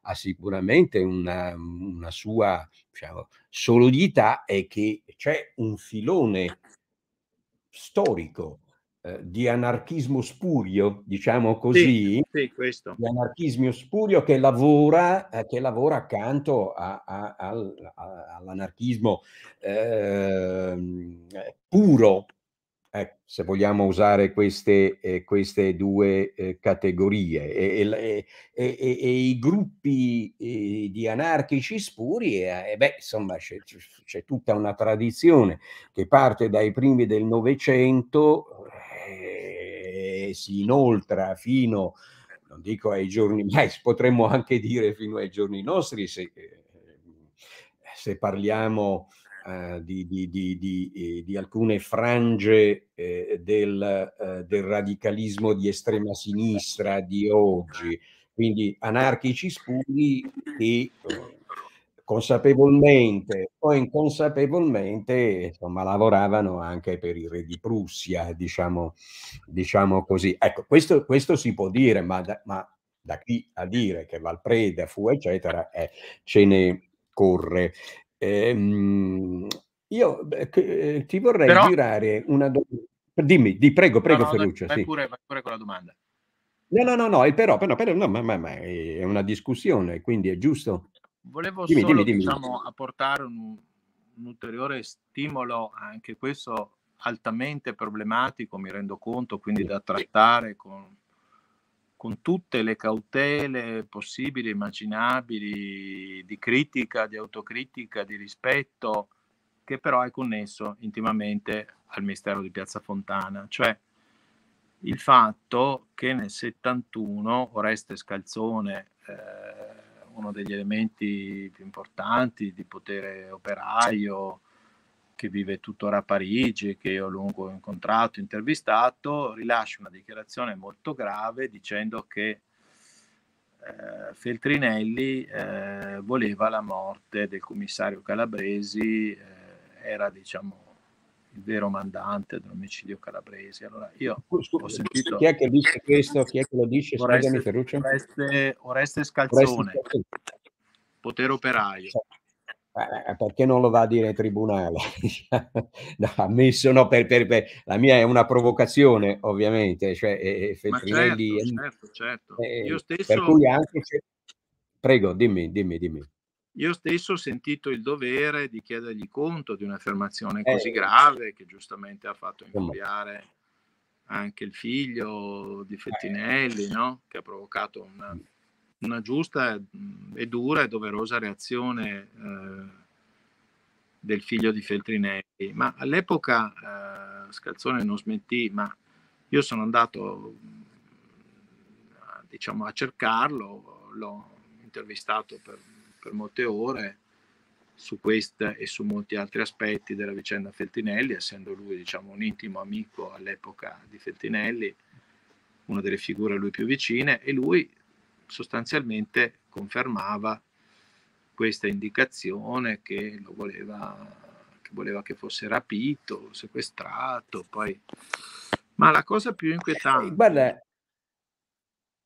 sì, dimmi, dimmi. Faccio un ultimo elemento, poi mi taccio la cosa più, inquietante, più, più inquietante che emerge anche da altre testimonianze è l'indicazione che non dà però solo Scalzone, la dà sostanzialmente anche Franceschini, e che l'omicidio di Calabresi non matura tanto come vendetta alla morte di Pinelli episodio che tutti noi conosciamo, la caduta della finestra a ridosso delle indagini su Piazza Fontana, eh, eccetera, eccetera. La morte di Calabresi, questo comunque è un dato di cronaca fattuale, avviene, avviene nel, nel maggio del 72, due mesi dopo Feltrinelli, avviene, avviene, a quasi, avviene a quasi tre anni di distanza però da Piazza Fontana.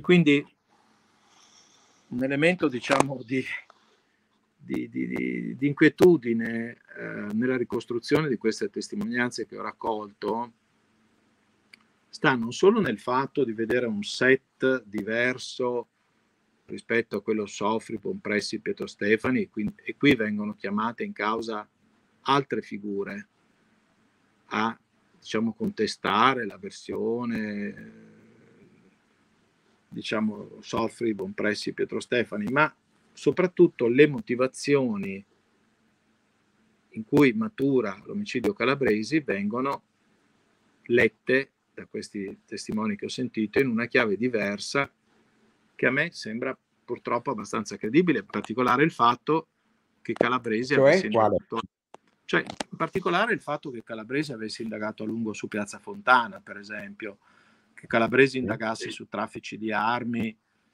mh, che provenivano, cioè che, che, che erano destinati a, ad attività eversive, cioè Calabresi comunque era un fior di, eh, come dire, investigatore, era il numero due dell'ufficio di Allegra, come ben sai, ed era insomma, un ispettore di polizia estremamente capace, estremamente valido, quindi la, la tesi della storiografia ufficiale che eh, Calabresi viene ucciso a freddo quasi tre anni dopo la, la vicenda di, di, di, Pinelli rivista un po' seriamente sul piano storiografico, lascia spazio eh, quantomeno a delle domande.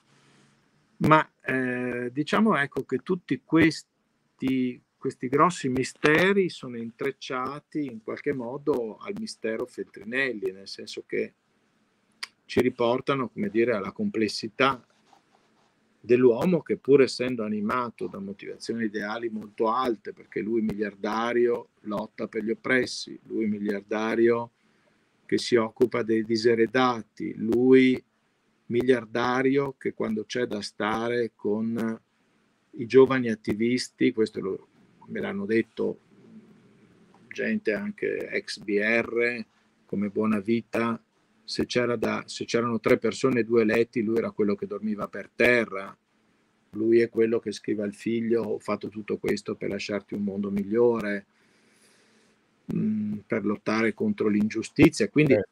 insomma, bisogna, come dire, dare atto, e questo io l'ho fatto nell'introduzione e anche nelle conclusioni, delle motivazioni ideali eh, eh certo. Certo. dell'uomo, dell'editore, del rivoluzionario, della sua autentica devozione a una causa, diciamo, internazionalista, operaista, eh, anche di, di mutamento, eh, diciamo, dei rapporti di potere tra classi sociali. È stato uno dei primi a teorizzare la settimana corta, il fatto che non bisognasse lavorare al sabato, tutte conquiste ormai scontate, ma che per l'epoca non lo erano, no? Ecco, teorizzare l'avvicinamento alla lettura delle masse popolari, quindi è stato indubbiamente una figura animata da sentimenti sicuramente autentici perché eh, poteva farsene il miliardario, poteva fare il miliardario tra New York eh, e la Costa Azzurra, voglio dire, no? invece è andato a morire su un traliccio, quindi bisogna rendere, come dire, onore alla coerenza dell'uomo. Eh, tuttavia questo, eh, secondo me, non deve impedire eh, uno sguardo più ampio che affronti la complessità della sua vita che per conto mio è la, è la complessità quella... del contesto è la complessità, complessità del contesto, del contesto certo. della guerra fredda del contesto della guerra fredda eh, e so. la complessità della sua vita poi secondo me è poi all'origine della sua morte ma di questo poi ne possiamo parlare quello che anche ho trovato in queste carte inglesi, che a te eh, sicuramente fanno gola, è, eh, è proprio l'indicazione, eh, in questo documento inglese, dice Feltrinelli aveva un network eh, eversivo terroristico proprio, personale, costruito da lui personalmente attraverso i suoi rapporti internazionali, che metteva al servizio di diverse cause e poi c'è una parola, c'è proprio un, The Cult of Violence, parla di cult of violence, insomma l'espressione mi pare chiara, no? E dopo questo documento, eh, a un certo punto... Che documento è, scusa Ferruccio, che documento è? È un documento che io ho ricevuto dagli archivi a cui fai riferimento anche tu. No, no, dico che, docu- che la, la, la, la fonte che lo ha originato. La fonte è un rapporto, eh, diciamo, da agenti inglesi operanti in Italia, okay. eh, mandati chiaramente, mandato ai servizi inglesi. Ok. Ecco, okay. e poi c'è un curioso Ed riferimento finale, questo, sì, questo, ah, sì a eh, episodi di terrorismo palestinese. Un riferimento apparentemente slegato, però è curioso che alla fine di questo, di questo brano, poi dovrò effettuare ulteriori approfondimenti naturalmente, eh, perché non sono approfondimenti facili, come sai meglio di me, avendo... Ecco, eh, c'è un riferimento palestinese anche questo è una cosa che eh, suona come eh, una conferma di determinati rapporti e se lì lo vogliamo toccare, poi adesso qui c'è tutto il nodo di quali eh, servizi monitoravano eh, Feltrinelli. Eh, sì, parliamo, vai, vai, vai. Beh, allora, innanzitutto, appunto, abbiamo detto della CIA che, lo, che ne seguiva le tracce, questo risulta da carte della CIA pubblicate, eh, sicuramente almeno dal viaggio del 59 e certamente dal viaggio del, dei viaggi del 65 in poi, ci sono pubblicati persino sul sito della CIA tutte le lettere, i dispacci relativi alle richieste di Feltrinelli, di visti, di ingresso, lui era del PC, eccetera, eccetera. Eh, aveva però pubblicato Givago, in quel momento veniva visto con un, con un certo favore. E quindi c'è tutta l'attività della CIA che prosegue con Castro, con la Bolivia, insomma, che continua nel corso del tempo. Poi eh, ci sono chiaramente i servizi israeliani, perché è evidente che un uomo che sosteneva eh, l'attività filo-palestinese non poteva non essere oggetto di attenzioni e qui a Milano operava eh, come capostazione del Mossad. Mi, stupirei del contrario. Eh, mi, sti, ma, mi, stupirei del contrario, è ovvio. Anch'io, penso che... Cioè, Facevano i loro mestieri. Mi pare difficile che un uomo insomma, di quel potere, di quella ricchezza, con mezzi pressoché limitati, che si spinge eh, così tanto eh, sul terreno filo-palestinese non si è osservato con grande attenzione e qui a Milano stava addirittura dal 47 Mike Harari che poi è l'uomo che guida la famosa operazione Vendetta dopo la strage di Monaco del 72 cioè non ci stava uno qualsiasi un agentucolo eh, da niente ci stava una super spia un super agente eh, operativissimo del Mossad, che è l'uomo che poi dopo, come racconta bene il film Munich di Steven Spielberg, inizia la caccia ai terroristi palestinesi eh, presunti autori della strage di Monaco o loro fiancheggiatori, no? Ed è curioso che il libro di George Jonas, da cui è tratto il film, cioè appunto Vendetta, tra cita proprio expressis verbis Feltrinelli tra i fiancheggiatori. Io ce l'ho qua, c'è un passaggio. Tra i fiancheggiatori di? Tra i fiancheggiatori, tra i fiancheggiatori del terrorismo palestinese cita proprio ah, Feltrinelli con nome e cognome. Dice un ricco miliardario playboy, lo definisce, che fiancheggiava il terrorismo palestinese. Ora, Mike Harari è appunto una figura di altissimo spessore, di intelligence che operava qui a Milano, che si è sposato a Milano, ha avuto figli a Milano, nipoti, andava alla Scala, è stato intervistato da Eric Salerno, il nostro collega romano che ha scritto Mossad Italia, dopo è stato in Nicaragua da Noriega, no? dopo l'operazione Monaco, operazione vendetta relativa a Monaco. No? Quindi è difficile pensare che eh, il Mossad non si interessasse di Feltrinelli. E in questo senso è fondamentale un'intervista che ha realizzato per me Andrea Ceresini, un giovane bravo collega che si è recato a trovare in Sudafrica il generale Gianadello Maletti, eh, ufficiale dei, dei, servizi, ma anche ufficiale di collegamento con il Mossad, che per i problemi giudiziari avuti relativamente alle stragi di Piazza Fontana e Piazza della Loggia era della filiera filo-israeliana dei nostri servizi, diciamo. Così. Esattamente, era la filiera, diciamo, non quella filo-araba. Contrapposta a quella del generale Miceli, che invece era la filiera, come dire, eh, mediterranea. Mediterranea, filo-araba, che comprendeva figure araba, certo, Giovannone, certo. eccetera, eccetera. Invece, appunto, Maletti era, si può dire, l'uomo del Mossad nei servizi italiani, no? Sì. Maletti a un certo punto si rifugia in Sudafrica, il Mossad gli costruisce una super villa protetta e questo collaboratore eh, nel 2012 nell'ambito di un libro proprio sulle, sulle stragi, Piazza Fontana, Piazza della Loggia, va là, so che va là, gli dico per cortesia intervistami Maletti proprio su Feltrinelli specificamente con tanto di videoripresa e questo Sceresini gli va lì, gli porta la lista delle mie domande e Maletti dice ma io ritengo che la morte di Feltrinelli sia stata un booby trapping, cioè una trappola esplosiva organizzata lì per farlo saltare e io gli chiedo ma eh, gli israeliani avevano le competenze? Sì, sì, fa, i migliori sul campo a livello mondiale erano e sono loro nell'uso degli esplosivi quindi allora, visto che ha introdotto uh, questo, il, il, tema della fine di Feltrinelli, che è un altro dei, dei temi controversi, altri dei grandi eh. controlleri. Preferisco cioè, i misteri, mi, è una categoria quella del mistero che a me non piace, io detesto, quindi eh. se, se è un mistero è meglio non parlarne, guarda. Eh, però diciamo di, di, di chiavi, chiavi, di lettura sì, eh, e qui ci sono anche qui, come per Piazza Fontana, ci sono due chiavi di lettura eh, sì. contrapposte eh, quindi c'è una che dice che morì mentre stava preparando un attentato, no? quindi, certo. e c'è un'altra che invece dice no, eh, fu un, un, attentato simulato, quindi eh, fu sì. assassinato. Ecco, queste sono due chiavi di lettura. Seco- secondo te, ma sulla base dei risultati della tua inchiesta, quindi delle tue testimonianze, dei tuoi documenti, tutto ciò che tu hai raccolto, quale di queste due chiavi di lettura ti sembra più vicina alla realtà?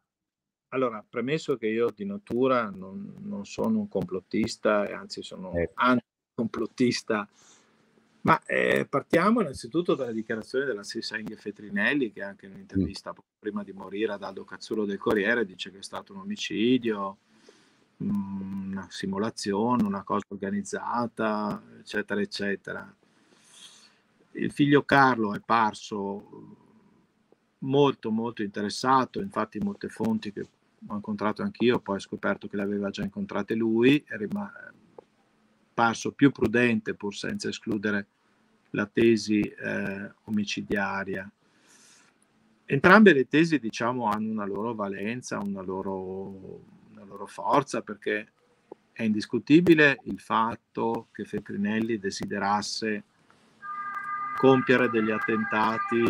L'ambulanza sta venendo a prenderci. Come?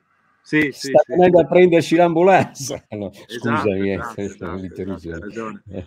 Sono venuti a prenderci. Prego, no, no, scusami, scusami. Continua. No, no, figurati. Eh. Dicevo che è indiscutibile il fatto che Feltrinelli volesse compiere degli attentati, anche perché poco prima del fatidico 14 marzo 72 le BR avevano effettuato il sequestro Macchiarini che aveva avuto un'enorme notorietà eh, internazionale, quindi lui si sentiva indubbiamente chiamato ad agire, ci sono le lettere sue a Franco Piperno, che ho anche intervistato Piperno, che chiedono un'unificazione degli stati maggiori militari, li chiama così Feltrinelli, no? dei comandi militari per creare una sorta di esercito di liberazione.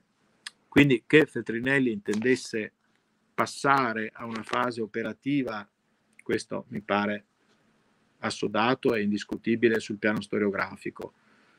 Cosa poi sia successo a Segrate è oggetto eh, di un ampio dibattito che io analizzo eh, molto a fondo. Sulla base degli atti io tiro fuori una perizia medico-legale che eh, sostiene che eh, Feltrinelli aveva una ferita alla nuca eh, pregressa all'esplosione, una ferita da corpo contundente, non compatibile con l'esplosione al traliccio. Quindi, che lui quindi potrebbe... scusami Ferruccio, questo vuol dire, scusami Ferruccio, questo vuol dire che eh, era stato colpito prima.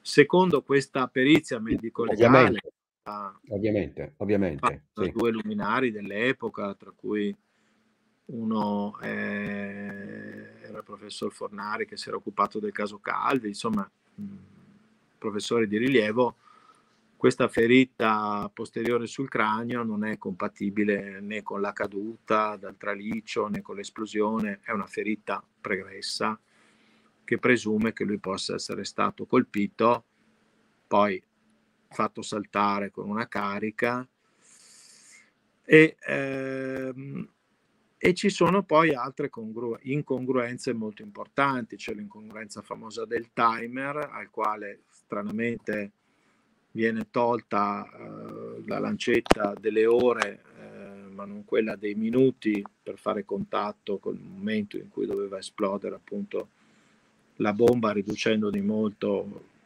lo spazio di operatività di Feltrinelli sotto al traliccio.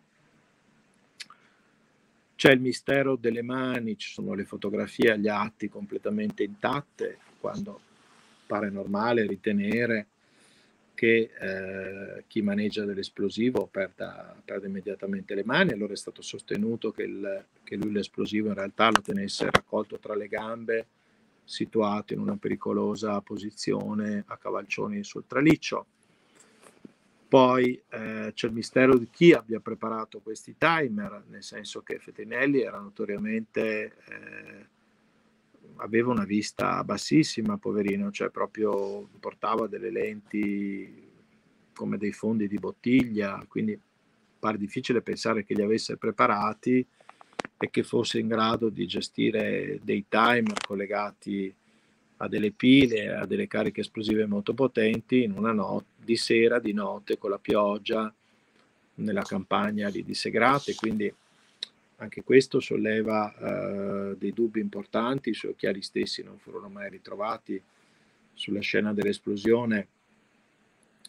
Diciamo che ci sono tante uh, incongruenze uh, molto importanti che eh, hanno fatto supporre, hanno fatto ipotizzare anche a magistrati, fior fior di magistrati, tra cui per primi io, io ho intervistato il PM Guido Viola che condusse l'inchiesta e lui stesso sia negli atti che con me diciamo non esclude la pista, una pista diversa e dice che la sua inchiesta fu viziata da pressioni, fu viziata dal, dall'azione dei carabinieri di via Moscova, i quali a loro volta erano guidati dal generale Palumbo e eh. dal maggiore Pietro Rossi, che sono figure che poi Cioè, inquadriamole, cioè il generale eh. Palumbo era della filiera cattiva dei carabinieri all'epoca, era la, eh, era la, la filiera piduista, diciamo. Mm.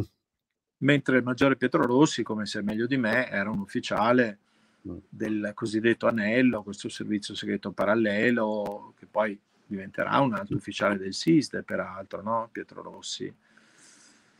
Quindi eh, ci sono queste incongruenze, c'è il giudice Bevere, che anche questo l'abbiamo intervistato, che viene sollevato dalle indagini, proprio pare su pressioni dei carabinieri di via, Mosco- della via della Moscova, c'è l'intervista a Mastelloni, c'è l'intervista al senatore Pellegrino, Diciamo che eh, tutte queste fonti eh, sollevano delle perplessità importanti che sono, diciamo, scavate molto a fondo in questo lavoro relativamente alle persone che attorniavano Feltinelli, perché anche questo chiaramente è un nodo che ci deve fare interrogare e che non è stato mai scavato. Allora, chi c'era con Feltrinelli? Eh, c'era questo misterioso Gunther, eh, fa parte del doppio team, diciamo, dinamitardo di, che doveva far saltare i tralicci a, a Segrate e a San Vito di Gaggiano. Questo misterioso Gunther che eh, Oreste Scalzoni identifica in questo Ernesto Grassi, no? che addir- addirittura racconta a Scalzone di averglielo presentato lui nel sessan- lontano 69. Quindi anche questo pone delle domande relativamente di nuovo ad Atene all'attentato di Atene, per esempio, dove c'è questo stesso timer Lucerne. E Gunther viene indicato come operaio con competenze elettrotecniche, fratello elettricista, che potrebbe aver preparato lui questi timer che guarda caso hanno funzionato male e hanno fatto saltare Feltrinelli a Segrate ma non a San di Gaggiano. Ci sono due ragazzi, uno identificato ormai con certezza in uh, Mario Galluccio, detto Gallo, sull'altro l'identificazione resta più problematica, c'è chi l'ha ipotizzato Enzo Fontana, chi ha ipotizzato altre figure, che però abbandonano Feltrinelli eh, sanguinante, eh, con una gamba in brandelli, l'altra quasi amputata, sotto il traliccio e poi scompaiono nel nulla e anche questo appare molto strano, cioè che né, che né, eh, diciamo, né le forze dell'ordine né i servizi riescano a, a individuare questi due giovani attivisti, assicurarli alla giustizia, interrogarli sulle circostanze della morte. C'è questo Gunther che aveva anche rapporti con la malavita, eh, persino rapporti con Valanzasca, che chiede alle BR, questo come sai lo racconta Franceschini, chiede dei soldi per comprare dei mitra, dei MAB dice di avere la possibilità di comprare dei mitra, poi prende questi soldi e scappa. C'è la cassetta di sicurezza di Lugano, di cui Gunther e eh, forse anche altri avevano le chiavi, che venne ritrovata svuotata dei soldi. Insomma, ci sono delle incongruenze molto, molto, molto importanti, diciamo, nell'inchiesta. Non, certamente non c'erano gli strumenti di oggi, non c'erano, non c'erano le ricchezze di analisi del presente, è stato anche ipotizzato, qui potrà intervenire anche Maurizio Ferentini che ha parlato con una fonte e ha detto ma, ma guarda, ma quello addirittura è stata un'esplosione telecomandata, qualcuno dei servizi eh, gli ha messo un timer telecomandato e l'ha fatto saltare, c'è chi dice che addirittura qualcuno dall'officina di Fumagalli possa avere colpito l'esplosivo che Feltrinelli teneva in mano, ma comunque vicino a Feltrinelli nella preparazione c'era una strana figura che era Carlo Fumagalli, che io ho profondamente scavato mm-hmm. attraverso gli atti del processo di Piazza della Loggia. Nel processo di Piazza della Loggia ci sono delle deposizioni di un certo Giovanni Rossi, che era un, uno della delinquenza comune, che faceva il confidente di un carabiniere esperto in, in recupero di opere d'arte. E questo Giovanni Rossi, qui riporti verbali, dice eh, Fumagalli faceva parte del gruppo di Feltrinelli, era libro paga, avevano insieme un gruppo terroristico, si videro o il giorno prima o la sera stessa, perché anche lì c'è un dibattito sulla data della morte. Chi la, la gran parte della storiografia la colloca al 14, ma ci sono degli elementi eh, che fanno ritenere che possa essere avvenuta il 13, cioè la sera dell'incontro con Fumagalli per discutere di esplosivi. Quali, quali elementi ci sono, Ferruccio? Ma c'è stato un ricercatore, Eros Francescangeli, che eh, ha pubblicato diciamo, dei documenti del SID, diciamo, delle, delle, chiamiamole delle informative, che collocano la morte il 13 sera e non il 14.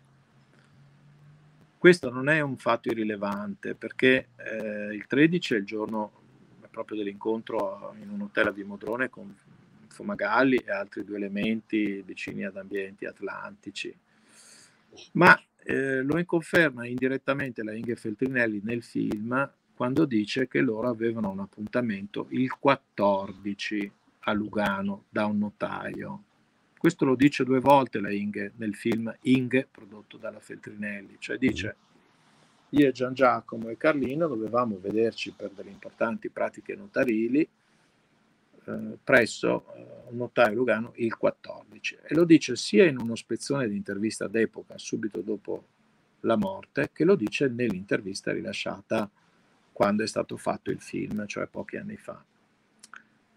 Questa cosa di fissare l'incontro del giorno dopo a Lugano il 14 e non il 15, qual è stata poi la vulgata eh, collettiva dei tanti libri, di Grandi, di altri, eccetera, ha una sua importanza perché sposta la data dell'evento certo. esplosivo al 13.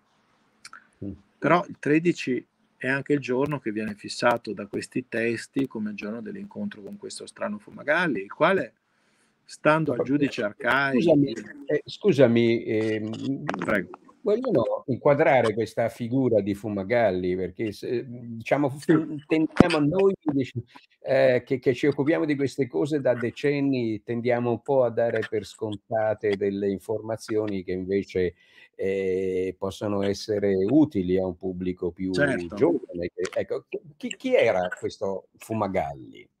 Fumagalli era, diciamo, semplificando molto, un partigiano bianco, cioè un partigiano, diciamo, eh, non comunista. Eh? anche ferocemente anticomunista. Ferocemente anticomunista che si era distinto anche in diverse azioni nella fase finale della guerra, e che era stato decorato anche con una medaglia degli americani per i suoi servigi. Si dice che poi abbia operato per conto della CIA in Yemen. Eh, dopo mh, diventa uno strano elemento, diciamo, di una sorta di, di, di, di estremismo atlantico, di centro, tra virgolette, bianco, fondando questi movimenti di azione rivoluzionaria ai MAR. Certo. Secondo le fonti che io ho sentito era eh, diciamo una figura a scavalco tra mondo estremistico di destra, eh, mondi dei servizi, mondi della questura milanese. Io per esempio ho intervistato Piero Sella che è morto recentemente, che, eh, che era certamente di super destra, teneva una bandiera del Terzo Reich in camera sua, quindi insomma, certamente non era di sinistra e lui dice che Fumagalli gli aveva offerto i suoi servigi in occasione del golpe borghese per il quale Selle è stato variamente e vastamente inquisito e che lui l'aveva fatto seguire per due settimane e aveva capito che era un informatore della polizia che andava e veniva in continuazione lì dalla questura di via Fate Bene Fratelli, no? Quindi Fumagalli è uno strano, uno strano elemento che stando agli atti della, della commissione della commissione stragi e delle commissioni dei rapporti con la mafia e alle disposizioni del giudice Arcai, eh, aveva anche però rapporti con ambienti, con ambienti diciamo, della malavita, del contrabbando, persino della mafia a Milano, tra cui Ligio, con cui pare che abbia creato un'enoteca. Cioè era un, come dire, un personaggio ambiguo a scavalco che ha fatto anche vari anni di galera che però parlava con diversi mondi, che pare che fosse anche in contatto col famoso uh, Federico Umberto D'Amato, altra figura a cui dovremmo forse dedicare due parole, forse tu potresti illustrare. Eh, per, per tuoi... no, qui anzi ne approfitto per segnalarlo che c'è un bellissimo libro scritto da Giacomo Pacini, ecco, la, la, la spia. Esatto quindi eh, lo, lo, consiglio a chi ci ascolta, a chi è interessato ad approfondire la figura di Fumagalli, può, può trovare in quel libro che è stato pubblicato da Einaudi cioè, molte, molte informazioni. Beh, D'Amato comunque aveva un'ossessione vera e propria no? per Feltrinelli, perché fece pubblicare questo, questo livello Feltrinelli guerrigliero impotente, no? che noi, eh, io e Valtolina, siamo riusciti a recuperare integralmente. Ed è un testo più interessante di quanto è stato scritto fino adesso, è stato detto che era un brogliaccio buttato giù da gente del bagaglino, da pingitore. A noi è sembrato un'indicazione assolutamente superficiale, perché in atti giudiziari abbiamo trovato una, una frase Gian, dell'avvocato Giovan Battista Lasagna, carissimo amico di, di Feltrinelli, eh, legatissimo a lui, che ha detto secondo me l'autore era era reale, cioè Eugenio Reale. Allora noi abbiamo scavato, tu sai bene chi è Eugenio Reale. Eh, cioè, a questo proposito, guarda, eh, si innesca una domanda che è lì in lista d'attesa da tutti. È una domanda molto interessante. Prima finisci, concludi la risposta se non l'hai ancora chiusa. E, e, e poi faccio, giro la domanda di un, eh, di, di, di, un, un nostro amico in ascolto. Prego, prego. Ah, Posso?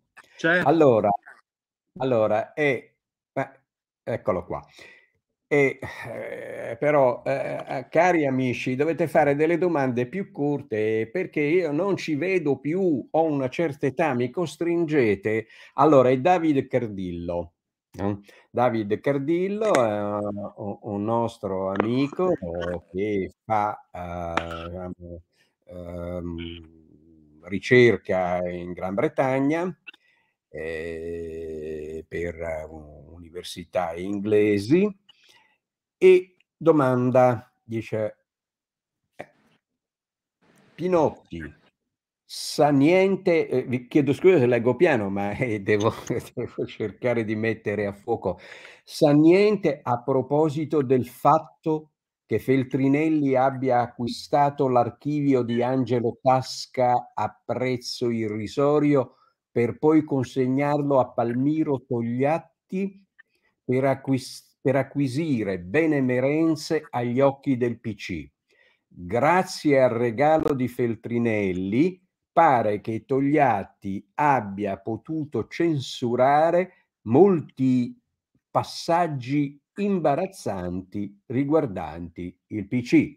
Ecco, eh, insomma, bella domanda. È una domanda alla quale non, non so purtroppo eh, rispondere e la considero come dire uno spunto di ricerca, uno stimolo molto interessante. Mi sembra, mi sembra ecco. plausibile l'ipotesi, nel senso che una delle attività precipue di Feltrinelli era l'acquisizione di documenti importanti, imbarazzanti, compromettenti, una vera attività di intelligence che aveva anche dei punti in contatto con la sua attività di editore. Parliamoci chiaro, per esempio, de, de, dagli atti giudiziari emerge che Feltrinelli abbia acquisito delle carte comprovanti il fatto che ci fosse un colpo di Stato in preparazione con l'aiuto dei servizi greci, traffici d'armi dalla Grecia all'Italia, eccetera, eccetera. Quindi se Feltrinelli avesse acquisito l'archivio uh, Tasca e poi lo avesse regalato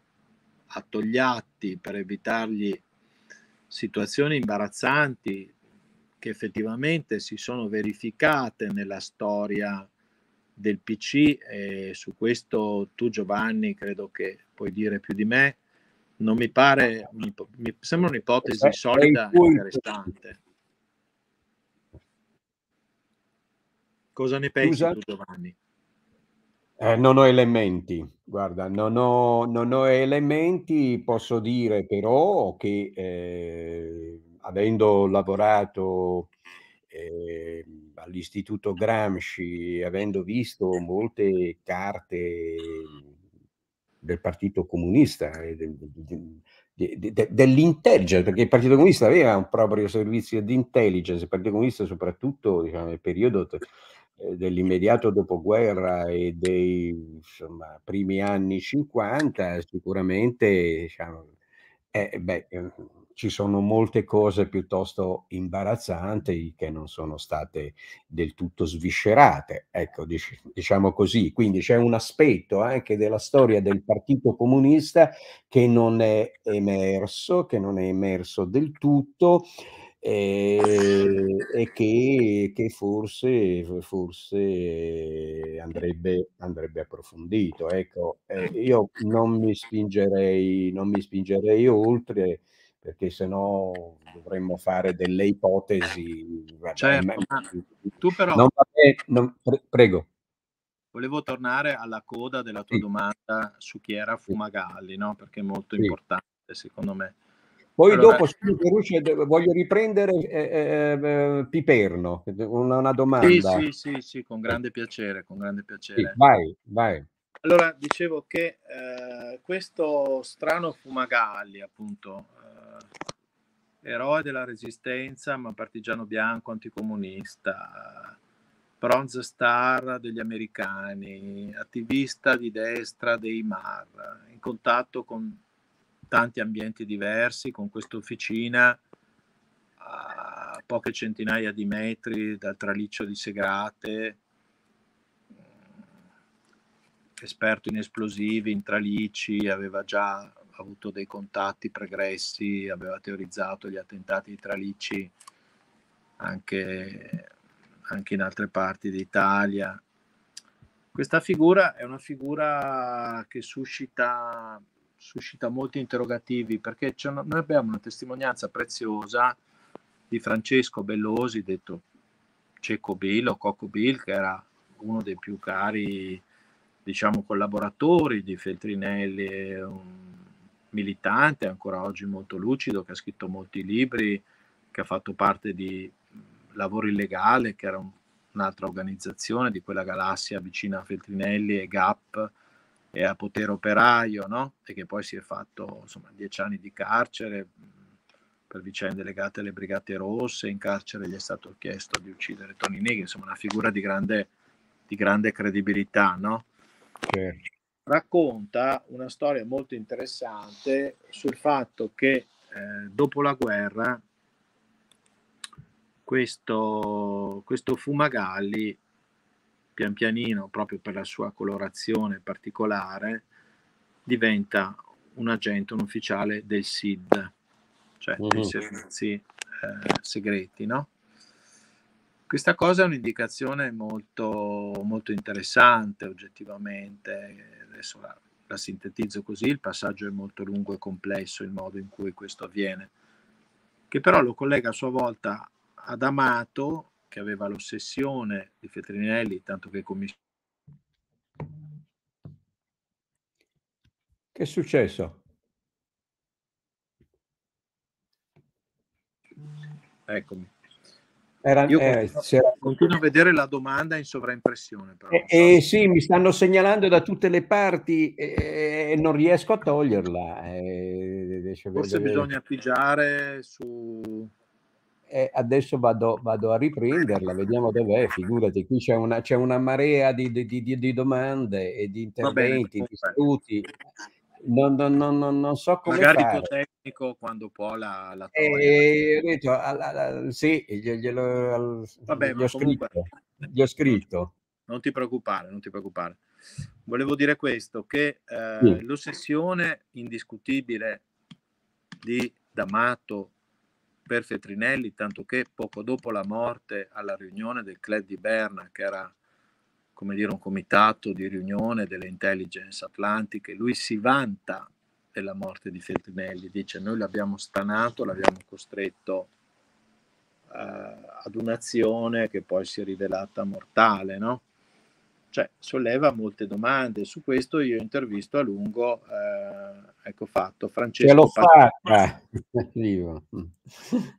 intervisto a lungo nel libro Francesco Pazienza, ex agente dei sismi il quale comunque una sua storia, eh, sia pure complessa eh, e controversa, ce l'ha e eh, mi racconta tutti i rapporti, diciamo, di Federico Umberto D'Amato, questa super spia dell'ufficio affari riservati del Viminale, giova ricordarlo per i nostri amici che ci seguono, che era, diciamo, una struttura prodromica, eh, diciamo, di, di, di, altri servizi segreti, attiva da tempo in memoria, ma considerato diciamo, la spia più importante d'Italia, poi chef, collaboratore dell'Espresso, eccetera, eccetera.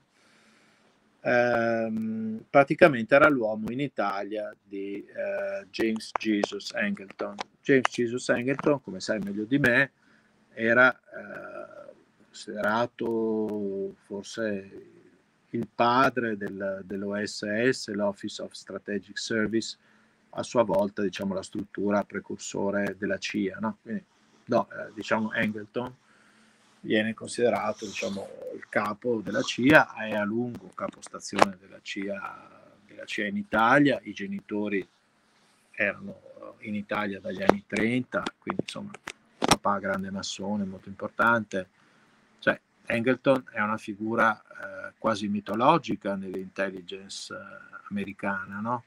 E eh,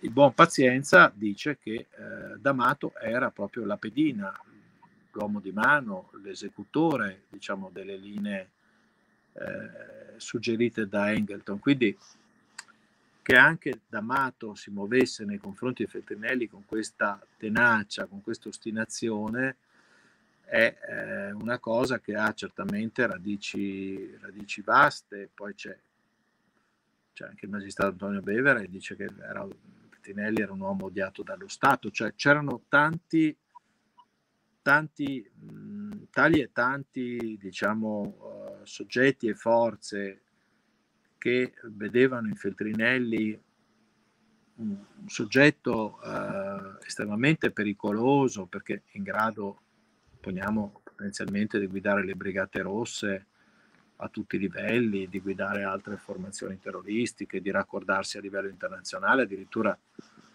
una fonte, l'unica che non ho potuto esporre, eh, un generale dell'arma mi dice ma persino Carlos si può considerare una creatura di Feltinelli e io stesso ho scritto alla, all'avvocatessa di Carlos e a Carlo stesso in carcere a Parigi e eh, la moglie, che è l'avvocatessa Coutampere, mi dice sì, io mi ho assistito che anche suo marito ha molte cose da dire su Feltrinelli, solo che voleva essere pagata eh, 750 euro l'ora e a me l'idea delle interviste pagate non è che piacciono molto, ecco, non, non, è solo un fatto di risparmio certamente, ecco, ma le trovo un pochettino come dire, al limite. Allora, Però, scusa, prego. Io mi fermerei qua. Sì, guarda, adesso che ho imparato come si fa, ti metto in evidenza una domanda di Franco Martinez, pri prima di, di, di, di, farti io la domanda su Piperno. Eccola, eccola qua. La vedi? La leggi? Così? Aspetta, eh. Risparmia sì, un po' di. Ma il generale Palumbo è lo stesso che costrinse dalla Chiesa ad abbandonare l'ispezione a via Mantenevoso o ricordo male? Ecco. Sì, sì, sì, è un'indicazione, è un'indicazione corretta, nel senso che ehm,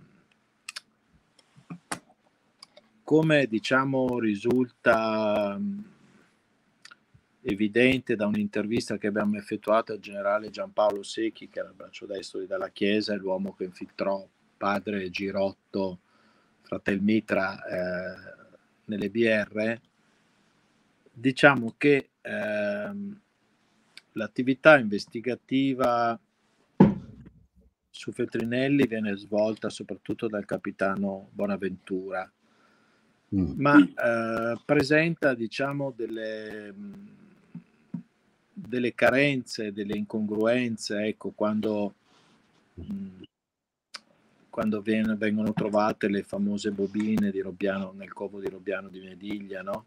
con le trascrizioni del racconto di Gunther della fine di Feltinelli a Segrate. Nessuno riesce a identificare questo Gunther, nessuno lo va a cercare, nessuno lo va a disturbare. Sugli altri del team resta un silenzio omertoso che dura, si può dire, sino a oggi, nonostante uno di questi eh, sia ancora vivo e anche relativamente giovani, diciamo, dei limiti di vicende storiche di 50 anni fa. Mm. Quindi mh, mm, questa, questa, affermazione de, del, del, nostro amico non, non, mi stupisce, non mi stupisce del tutto, cioè Palumbo era un uomo, eh, un generale della P2 che si inseriva in un determinato contesto diciamo, di, di forze dell'ordine purtroppo inquinate ecco, dal piduismo nascente dell'epoca. Posso aggiungere solo una piccola chiosa sul generale Palumbo. Il generale Palumbo era il grande avversario di Dalla Chiesa all'interno dell'arma e, e e, e, e, soprattutto dei nuclei antiterrorismo di Dalla Chiesa, i nuclei che vennero sciolti del generale, del generale Palumbo. Quindi è un personaggio molto, molto inquietante. E, allora, ehm, tu non, non, hai altro da aggiungere su, su, su, questi punti? Posso passare a un'altra domanda? Vai tranquillo, vai tranquillo, vai tranquillo Giovanni. Allora, hai, citato eh, Piperno, ehm, un aspetto molto interessante eh, relativo all'unificazione dei quartieri generali, diciamo così, militari delle, delle varie organizzazioni della, della, galassia della lotta, della lotta armata. Eh, eh, non c'era ancora all'epoca eh, il partito, il cosiddetto partito armato, che, diciamo, che è un'espressione che eh, conosceremo più, più tardi, quasi eh, 76, 77, 78 a ridosso dell'operazione, dell'operazione Moro. Però diciamo, un altro punto controverso eh, sulla figura eh, di, di Feltrinelli, qui mi piacerebbe eh, conoscere la tua opinione e anche quella di Piperno. Eh, che ruolo ha avuto eh, Feltrinelli eh, da questo punto di vista? Cioè è stato lui il motore eh, di, il motore iniziale, cioè il motore che ha dato la spinta iniziale quantomeno eh, a una a un processo diciamo, di organizzazione, di unificazione di una galassia molto variegata della lotta armata, poi diventato partito armato dopo la morte di Feltrinelli.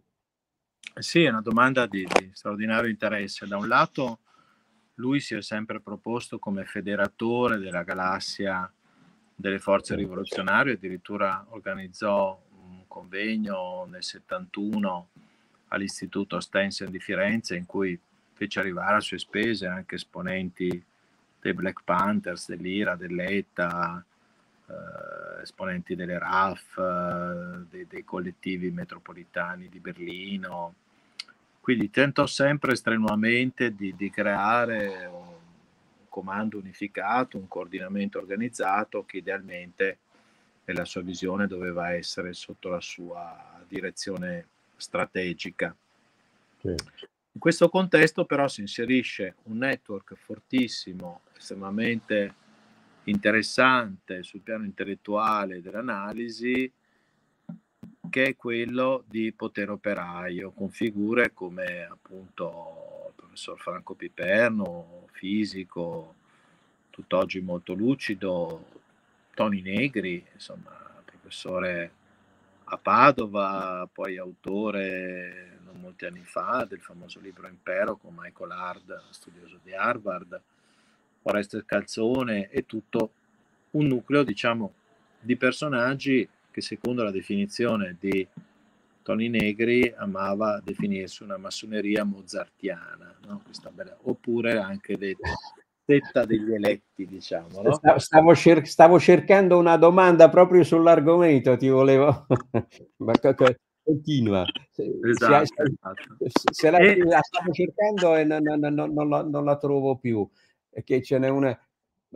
Comunque, concludi, concludi la, la, la... Sì, la cosa interessante è che io nel corso di questi oltre dieci anni di lavoro dedicati ai Fentinelli ho dialogato a più riprese con Piperno, e nell'ultima intervista, che è forse la più interessante, che è molto recente, del 2022, lui mi dice che, eh, che addirittura il network di potere operaio era non solo il più internazionalista in assoluto, avendo sedi a Londra, sedi in Canada, non a caso Piperno è stato a lungo in Canada, a New York, in Francia, vedi Michael Hard di Harvard, a Parigi, in Spagna, in tante parti del mondo, ma che addirittura è ancora vivo e vegeto. Cioè lui rivendica il fatto che questa setta degli eletti, questa massoneria mozartiana, è ancora viva e vegeta. Ed è un altro dato curioso, un'altra piccola scoop che vi regalo, è che il buon Toni Negri, che io tramite vie traverse molto complicate sono riuscita a a individuare dov'è e ad avvicinarlo. Vive in Trentino tranquillamente, in un borghetto del Trentino, eh, circondato, guarda caso, da una, da una comunità piuttosto consistente di intellettuali palestinesi. Anche qui torniamo a tutto questo filone no, internazionalista di potere operaio, che ha però un altro pandan su cui c'è una persona che magari potrebbe intervenire che abbiamo intervistato, eh, Maurizio Fiorentini, che ha scritto delle cose mirabili eh, proprio nella pagina 16 marzo, che è un tuo grande ammiratore, no? che tu ben conosci. E qui, è qui, è qui, è tra, è tra noi. È tra di noi. Vive lotta insieme a noi. Vive, Vive lotta insieme a noi, lo salutiamo. Ciao Maurizio. Ciao Maurizio, abbiamo, con cui abbiamo fatto una bella presentazione l'altra sera a Trieste anzi a Ronchi dei Legionari per essere precisi, con lui e Valtolina. E, um, lui definisce eh, Piperno un alter ego di Feltrinelli, una specie quasi di burattinaio di Feltrinelli, ma curiosamente identifica un secondo alter ego di Feltrinelli in Corrado Simioni, questa misteriosa figura che aveva creato anche lui questa specie di setta in cui c'era addirittura c'erano lo scambio delle donne, c'era la comunità sessuale delle compagne, le famose zie rosse, tutte cose su cui tu Giovanni ci puoi intrattenere per ore e molto meglio di me e con maggiore competenza. Ho dimenticato c'erano, tutto ormai. C'erano, no, no, c'erano figure come Duccio Berio che io ho raggiunto a Parigi. però scusami, eh, eh non, non, deviare dal, da, da, da, quel tema okay. Estre, estremamente interessante, cioè da questa affermazione di Piperno secondo cui appunto esiste tuttora questa massoneria mozartiana. Ecco, secondo lui esiste, esiste ancora. Eh, eh, scusami, per, aspetta, aspetta, aspetta Ferruccio, cioè esiste che cosa fa e dove sta? Ma eh, guarda, eh, ovviamente noi qua siamo in una diretta che può essere anche registrata, per cui, sai, abbiamo, Vabbè, quel, dire, quel, quello, quello che... Certo. No? di una certa certo. cautela, quindi Ovviamente. dovrei iniziare, iniziare a fare un po' di nomi No, no, no, no, no, no, no, cautela, cautela, cautela. Eh, i, i, non, parliamo dei meccanismi, lasciamo ci perdere i nomi. Spinti, perché... Ci siamo già spinti molto in là sì. in questa trasmissione, direi, no? Però, eh, ecco, diciamo meccanismi. questi meccanismi sono meccanismi, diciamo, estremamente sofisticati, da un lato di analisi eh, della realtà eh, politica nazionale e internazionale, di rapporti con ambienti dell'intelligence molto mirati, perché Piperno, per esempio, questo, credo che questo non sia un'offesa, eh, per esempio viene da un'importantissima famiglia ebraica eh, calabrese, no? E eh, quindi non mi stupirebbe se il professor Piperno, persona di grande cultura, avesse avuto o avesse delle fonti, per esempio, in quei mondi. Ma il mondo del potere operaio però era un mondo eh, che dialogava ad ampio raggio, lo stesso Piperno mi ha detto che Feltrinelli aveva un'ammirazione per Marcus Wolf, la famosa super spia mm. no, che si infiltrò ai vertici del, del governo tedesco creando una crisi inimmaginabile all'epoca. Eh, è gente che flirta anche con la massoneria, eh, nel senso che la massoneria è network informativo privilegiato, forte, non a caso qui parliamo più di Berio, Duccio Berio in commissione, sentito in commissione, mi pare Moro, eh, raccontò no, che il padre era un massone, un 33 grado, che, avuto, che era stato forse avvicinato anche dal Mossad.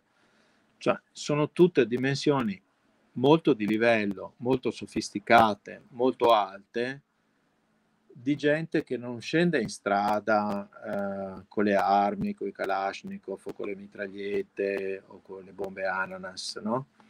E gente che però eh, in grado di, di, di, tirare dei fili, di muovere, di scambiare informazioni estremamente riservate. E, e quindi che questo network sia, credi- sia uh, vivo e vegeto, io lo trovo un'indicazione estremamente credibile solida. Tu cosa ne pensi, Giovanni? Io, io penso che ehm, adesso non so se, se, se, io possa, io, io, la base delle mie conoscenze, si possa definire eh, proprio massoneria mozartiana, eh, però sicuramente eh, diciamo che la rete mh, logistico e, e, la rete anche intellettuale del... Eh, de, de, de, del partito armato è una rete che non è mai stata sman- del tutto smantellata ecco, ed è una rete in sonno, è una rete in sonno. Eh, Beh, insomma, se tu vai a vedere, non so, per esempio, cosa fa Duccio Berio oggi, no? Duccio Berio eh, vivo. Ecco no.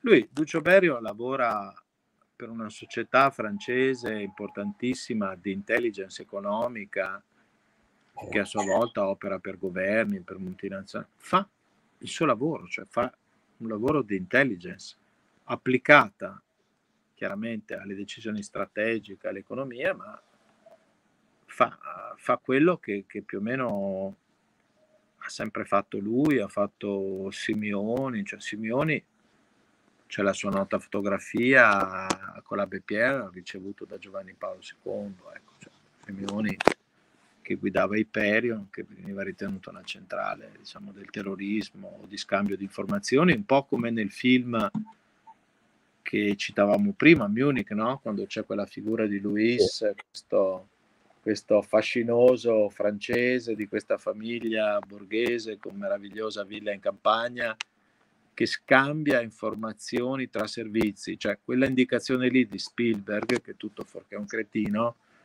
non è un'indicazione a casaccio, non solo è basata sul libro di Jonas, ma esistono ed esistevano ed esistono delle figure, chiamiamole di intermediari, di, di, di, di networking di alto livello, che scambiano informazioni con, eh, con l'intelligence. Ecco, in quel senso lì è un filone che sarebbe tutto da sviluppare, sarebbe per esempio capire come si interrelava Feltrinelli col mondo inglese. Tu prima della preparazione di questo incontro hai fatto una supposizione che non so se, se ti no, senti. No, no, no, no, no, no. d'accordo. Però, no, diciamo, però mi sento diciamo di, dire... di queste cose, di, di queste no, cose mi sento però di dire deve io. Parlare, deve parlare quando, quando, quando c'è no, una certo, documentazione. Mi sento di dire io che, che lui è sicuramente in quella tradizione, diciamo, di aristocratici come erano Philby, MacLean, Barges, il gruppo famoso no, dei cinque di Cambridge, che nonostante venissero dalla borghesia più autolocata del paese, addirittura uno era cugino della regina, divennero spie dei russi per moltissimi anni facendo dei danni incredibili. No? Lo stesso Carlos lo sciacallo è andato, via, è andato via. Mi vedi? Perché improvvisamente è buio ho visto. Vabbè, abbiamo toccato forse forse abbiamo toccato dei, dei temi scomodi. Ma Vabbè, mi stavi dicendo, dicevo, scusa. Dicevo che insomma lo stesso Carlos, eh, lo sciacallo, eh, era diciamo figlio di una famiglia ultraborghese, eh, fratello era, si chiamava Lenin, era stato mandato dal padre a studiare alla Lumumba University a Mosca. Eh, lui era allievo di un famoso diplomatico che scrisse quel libro da, da, dal buon selvaggio al buon eh, rivoluzionario, insomma, cioè, c'è un filone alto di internazionalisti che poi spesso sconfinano, come nel caso della rete di potere operaio, in figure, diciamo, quasi di intelligence, sia pure votata a un certo tipo di causa, estremamente affascinante, che è in possesso di informazioni, di chiavi di lettura della realtà, di, di, di, di un, leve molto sottili, anche di dossier, spesse volte personali, con cui sono in grado eventualmente di effettuare pressioni quindi è un terreno, diciamo, delicato, di cui però è il terreno di cui si nutre, di cui si nutre l'intelligence, come sai meglio di me. Certo. Ehm, guarda, Ferruccio, due ore e mezza, eh, precise precise e con diciamo, un livello di attenzione che è stato, che è stato costante dall'inizio fino a fino alla fine e quindi vuol dire che sei stato molto bravo e sei riuscito a, a tenere alta uh, la, la, tensione e l'attenzione. E io non vedo, non vedo qui eh, ulteriori, ulteriori eh, domande, io ne avrei da fare. Io ne avrei tante da fare a te, ne avrei no, vabbè, no, vabbè, allora, questo, poi, poi diciamo, un'altra volta, un'altra volta.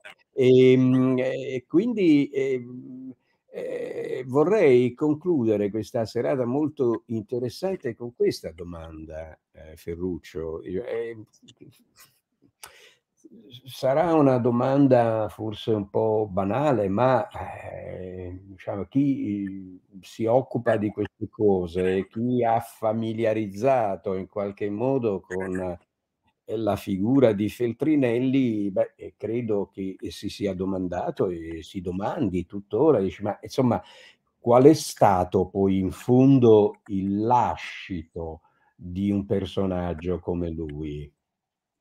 Beh, una domanda molto importante. Lui ha sicuramente lasciato un'eredità molto importante che è quella di un'editoria avanzata, un'editoria interessata ad affrontare temi difficili, temi, temi scomodi, soprattutto per quell'epoca che andavano dalle battaglie di liberazione giusto appunto del popolo palestinese eh, fino all'omosessualità, ai diritti civili, alle masse operaie, alla psicanalisi, alla letteratura, quindi è stato pensiamo, non so, anche alla scoperta di capolavori come Cent'anni di solitudine di Gabriele Garcia Marquez, eh,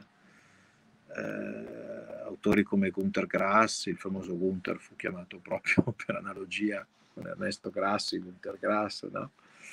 E, quindi l'ascito è quello uh, della sua casa editrice, eh, che tuttora oggi prosegue col suo nome, delle librerie che fanno un'attività uh, anche sociale importante di, di, di, di, incontro delle persone, l'attività della Fondazione Fetrinelli che è una sede meravigliosa che fa degli studi molto importanti e che ha un patrimonio assolutamente considerevole, lascia soprattutto diciamo, l'ideale di un intellettuale impegnato in prima persona per le cause degli oppressi, dei, diseredati, di tutto il mondo. Io credo che questo sia il lascito più importante di, di Gian Giacomo Feltinelli. Bene, io mh, mm, eh, ringrazio Ferruccio Pinotti eh, per, essere, per aver resistito così a lungo. E, e, ho visto però ogni tanto che qualcuno chiedeva ma non si vede il libro e allora siccome eh, eh, il libro è stato il pretesto ecco sì eh, se puoi farlo ecco facciamolo vedere in libro eh, ecco si intitola eh, no, ecco Untold eh, parola inglese che eh, vuol dire non detto, sottotitolo La vera storia di Gian Giacomo Feltrinelli, casa editrice, vuoi dirlo tu? Round, Round, Robin di Roma, Round Robin ah. di Roma, diretta Bene. da Luigi Politano, una casa giovane e coraggiosa che fa lavori diciamo investigativi, di approfondimento, con, con grande coraggio e libertà. Benissimo. E grazie ai tantissimi, ma proprio tantissimi amici che ci hanno eh, seguito e vorrei dare l'appuntamento a loro a venerdì 10 giugno alle 17 parleremo eh, di eh, Giovanni Falcone a 30 anni dalla morte con il sociologo Pino Arlacchi che è stato suo amico, anche suo collaboratore. E quindi anche quella sarà eh, una videodiretta di eh, estremo interesse, ripeto, venerdì 10 giugno alle 17 e con questo vi ringrazio e vi saluto. Grazie tante anche eh, ovviamente a Ferruccio Pinotti e pregherei di restare ancora un attimo qui per un saluto dietro le quinte, diciamo. Ciao a tutti, grazie, grazie e buonasera. Grazie mille.